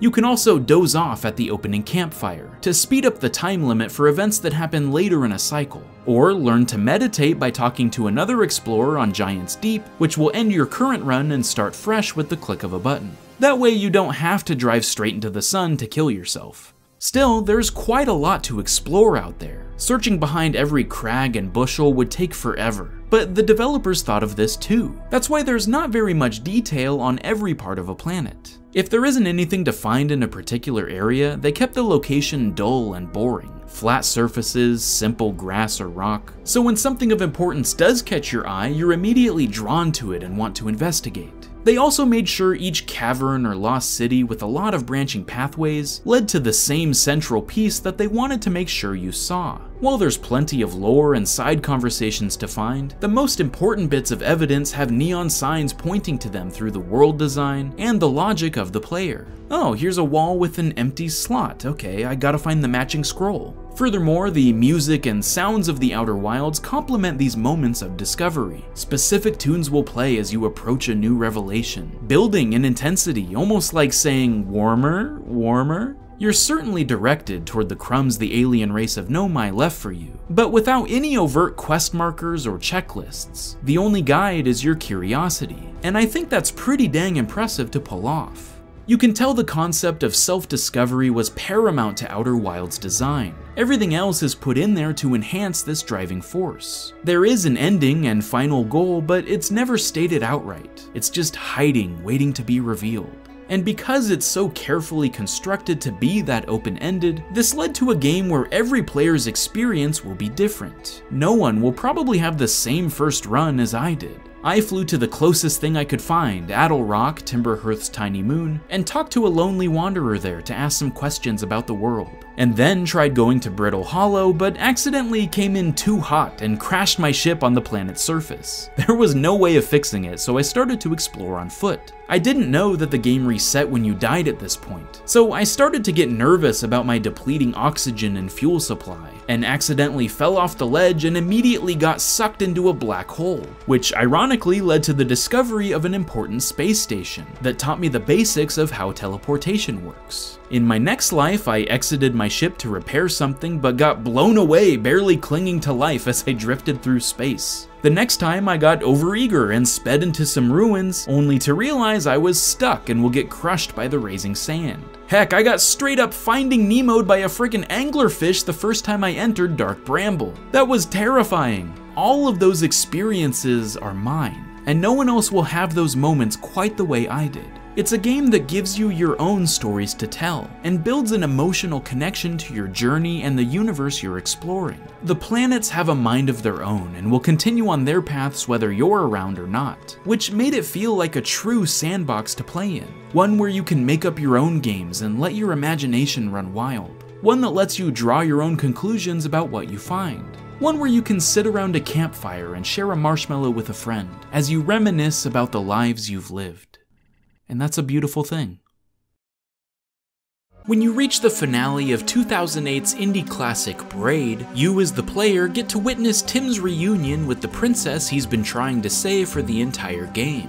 She escapes the hands of her captor and cries for help, followed by an intense sequence where you help each other get away by opening doors and removing obstacles blocking your exit. When you reach the end, however, things aren't quite what they seem. If you rewind time, the game's signature mechanic, you realize Tim is the one hunting down the princess. And as you fight back through the same hallway, she releases traps and narrowly dodges your attempts at stopping her. The man at the end is actually her savior, and his dialogue takes on a whole new meaning. So using the exact same layout and path taken, an entirely different perspective emerges because of how the game frames your encounter. In game design, this principle is called.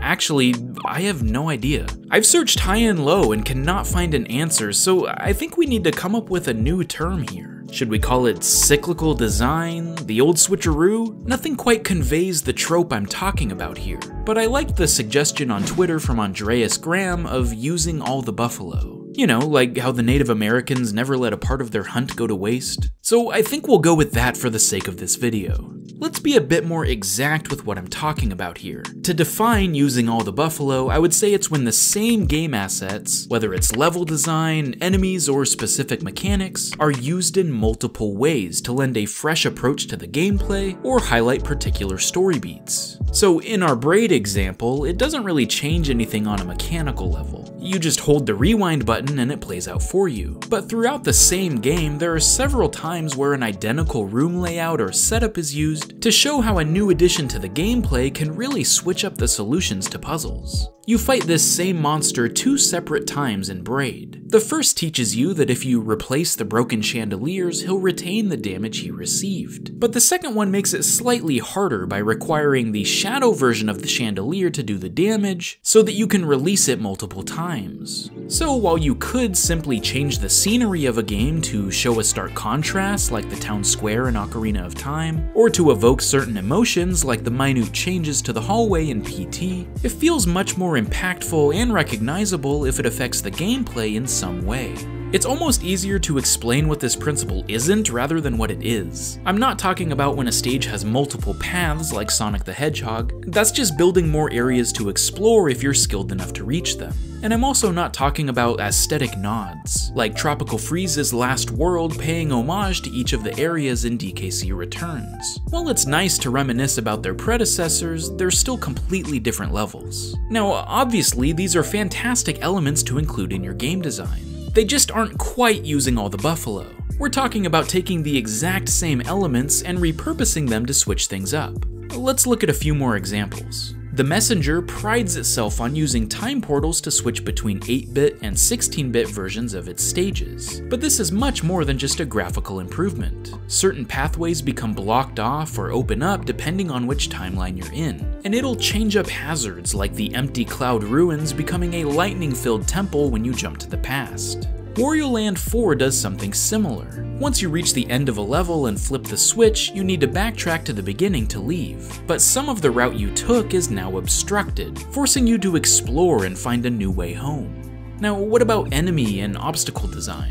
Well, in Celeste, the very fireballs you're trying to avoid become helpful jump pads when you transform the level into its icy version. And the freaky eyeball monsters that hunt you down also provide a forceful boost when they come back to life. Scary to attempt, but a really cool little quirk. Rayman Legends is masterful at this. In the fourth world, they introduce these searchlights that you need to stealth your way around, otherwise you'll get a nasty shock. But that simple device is expanded in a variety of different ways. These spiky eels can harm you, but they also block the light. You can move wooden planks to hide behind, but also platform across. You even break into a mansion, cut the lights, and then have to sneak your way back past the added security. Something I found super clever was that they used identical copies of stages from Rayman Origins, but added in the newer collectibles of Teensies in different hiding spots. That's probably the most blatant example of what we're talking about here. Oh, also, they have these belly flopping luchadors that not only serve as menacing obstacles and a way to cut through the walls of cake, but also something we haven't mentioned yet humor. You literally jump and kick enemies to the beat of Black Betty in this game. It's so freaking good, you guys. This can even apply to the player's mechanics as well. In Wandersong, you sing to do just about everything communicate with others, make choices, but it also is used for numerous purposes in the game's dungeons. You can sing in a circle to make time move forward or backward, shout in a particular direction to guide platforms, and even belt out specific tunes to cause ledges to appear like a fighting game combo or something. The note wheel never changes, but how you interact with the world can be wildly different depending on where you are in the story and just when you think you've seen all it has to offer, it innovates with a new ability. So uh, why is this important? What are the benefits of using all the buffalo? Well, to me, it helps a game feel more dynamic and like every element has a purpose. Instead of requiring a giant number of assets that pile up with each new challenge, this lets very few pieces go much further to keep things tidy and neat. And frankly, just feels cleverly designed when I see it. Like more thought went into every aspect when it was being created. This is obviously easier said than done, however, and requires a lot of planning in how it will all piece together. But if it's a part of the design philosophy from the get-go, it can have a massive impact on how enjoyable the experience is. To prove my point, let's take a look at the best example of using all the buffalo I could find. A Kaizo Mario ROM hack called Bun Bun World 2. I know I keep talking about Mario World hacks, but this one literally inspired the entire video, so uh, sorry. Let me walk you through some of the genius here, and maybe it can help inspire some future ideas for game developers out there. From the very first stage, it shows how effective this whole looping back on itself stuff can be. After going through the bottom part of the stage and entering a pipe, it shoots you out from an earlier spot at a much faster speed. And if you maintain that momentum, you can travel on the roof and over the same obstacles to reach the ending. That feels incredible to pull off.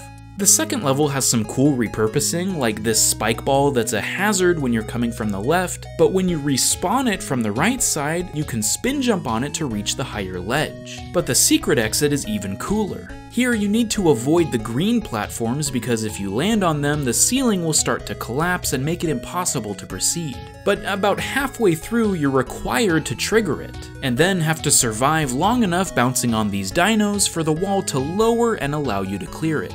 One more level design example for good measure. This stage is like Hazy Maze Cave. If you spend too much time in the fog, you suffocate. So here you need to reach the far side to grab a gray P-switch, which then allows you to destroy the munchers and backtrack on a newly available route back to the entrance where a pipe is now open. The same hallway feels like an entirely new area.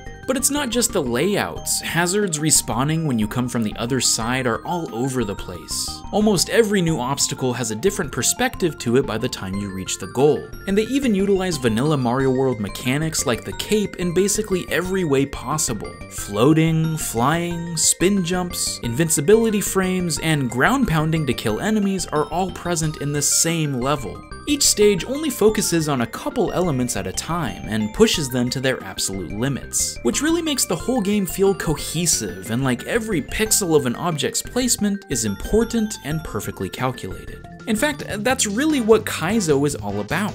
Since there's only one correct way to go in these gauntlets of death, every piece matters, and when everything is working together to show you the right path, it feels like a well-oiled machine. They'll also throw in some clever trolls now and again to make you think outside the box, and discover the new angle you need to hit that green orb. I think what makes Bun Bun World 2 so special is that even typical Kaizo tropes are turned on their head. Usually when you gain a power-up, it's used to damage boost past an unavoidable death trap. But in this level, you need to keep it through the gold tape. Otherwise, you'll be too small and fall to your demise.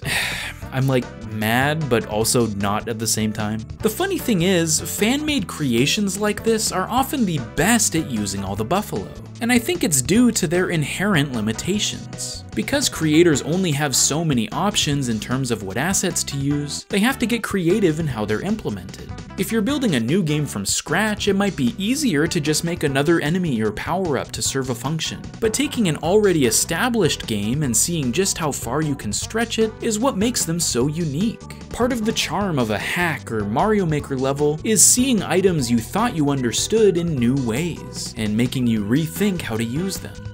So is using all the buffalo the best design principle out there? Of course not. Every aspect of a game world doesn't have to have multiple purposes, sometimes a sword is just a stabby thing to kill stuff with. But then again, and look, I'll be the first to admit this is much easier to implement in platformers than other genres. But at least in principle, I think it can be used to great effect even in subtle ways. Can you think of any other examples of using all the buffalo in games? What's an experience that just blew your mind when you realized there was a whole other aspect to something you thought was more simple? Uh, let me know in the comments below and let's talk about it. Seriously though, you need to check out Bun Bun World 2. It made me feel smarter just for playing it, and that is pretty freaking sweet. Thanks for watching, and I'll see you next time. Stay frosty, my friends. The older I get, the more I realize there are certain game elements that can either make or break an experience for me. For example, if a game sends endless waves of the same enemies at me over and over again, even if the mechanics are interesting, I'm sent straight to Snoozeville. Likewise, shooters in general I find rather boring nowadays. But if a game has some gorgeous pixel art, I'm already a bit more intrigued. Obviously, I'm talking personal preference here, but perhaps the most important aspect to me in this regard is also one that's fundamental to a game's design movement.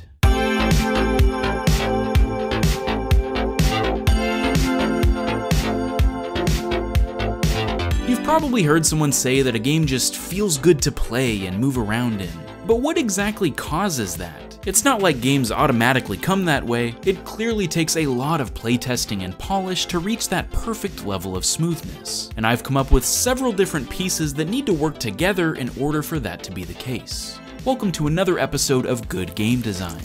Let's talk about it. First and most obvious is simply speed, right? Or at least being able to go at a speed that you would like. Nothing is more agonizing than watching your character move at a snail's pace with no way to go any faster. Most games fix this by having a run button, so you can walk when you need to or speed things up as you'd like.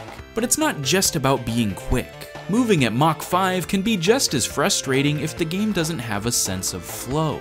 The way a series of obstacles and jumps link together and work in tandem seem to have a greater impact on the feeling of satisfaction I get than blazing through as fast as possible.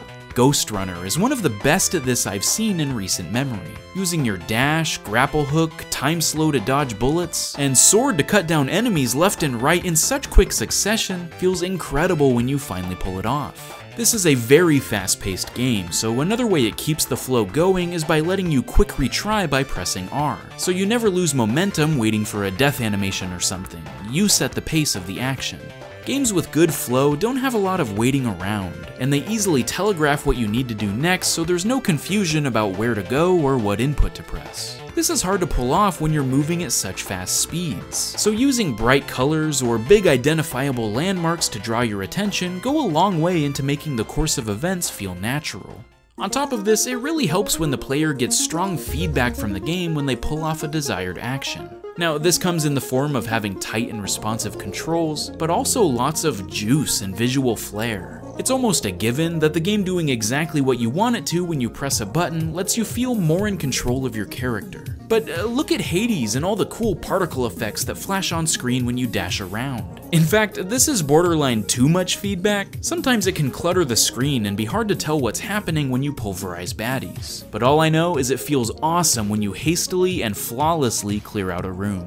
Crumble is another good example. Once you reach those breakneck speeds, it adds these whooshing lines around the edge to really make it feel like you're busting through the sound barrier or something. I would also say a great aspect of positive feedback is giving more grace to the player even when it shouldn't technically be possible. Celeste, as many of you know, helped popularize the term coyote time, where it still lets the player jump for a few additional frames after falling off a platform. In a game all about precision, the key to making it feel manageable and fostering its encouraging atmosphere is leaning toward forgiveness instead of keeping its rigid rule set in place. Shovel Knight also does this with King Knight's campaign.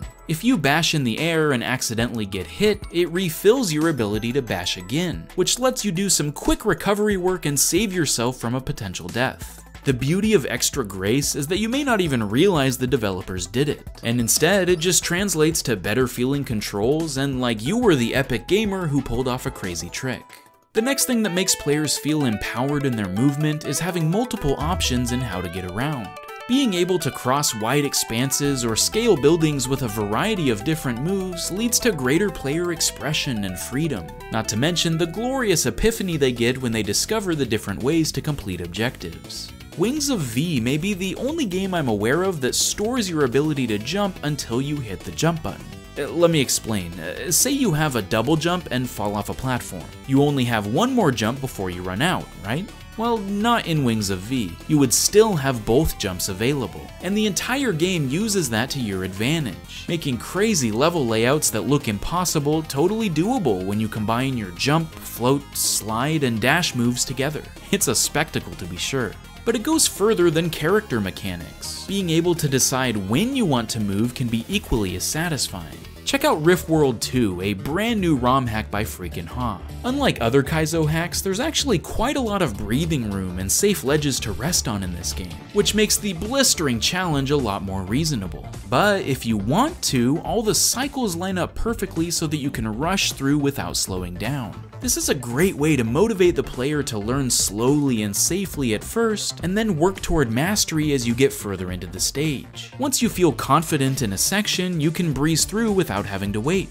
It's always a plus in my book when the hazards and obstacles in a stage fall into place, so you can truck by without a second thought once you've internalized the patterns. And I mean, we've all experienced the opposite, right? Having to wait for a spinning platform or path to open up, it's maddening. What goes hand in hand with this is when a game will reward the player for their skill, like in the Pathless. You gain a speed boost whenever you hit these archery targets, and it fills your stamina meter as well. When you run out, things slow way down to a light jog. But if you can get the timing right of chaining your shots together, you'll never lose your speed. Combine this with aerial tricks, gliding with your bird friend, and even faster boosts and higher jumps later on, and you have a movement system that ends up feeling more like a rhythm game or something, very unique. Last but not least, I think when a game uses its movement tech for more purposes than just running fast, it drastically adds to its cohesiveness and overall polish. Take Donkey Kong Country. The animal buddies not only increase your speed and survivability, but you can glide with Expresso, jump extra high with Winky, or break open walls with Rambi to explore and find all of its hidden secrets as well. In many titles, your dashes and rolls might get you around faster, but they also can be useful in combat too.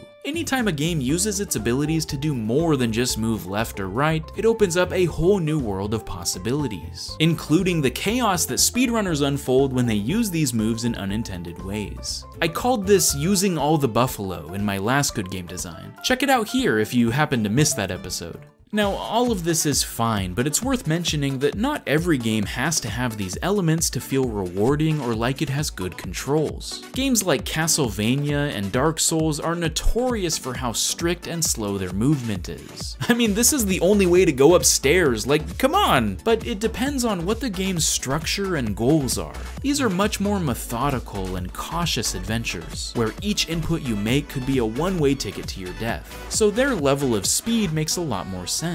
And when you do change the formula, it can completely alter the feel of the experience. I think a lot of games have serviceable movement. They get the job done, but they don't really excel or stay memorable. But the best ones combine the various elements we discussed together and work in harmony to create a diverse and enjoyable journey. One that lets a player's creativity shine and feel like the sky's the limit. What about you? What do you think are the most effective tools in building a gratifying movement system? What are some games that feel the best to move around in? Let me know in the comments below and let's talk about it. Thanks for watching another episode of Good Game Design. I'll see you next time. Stay frosty, my friends.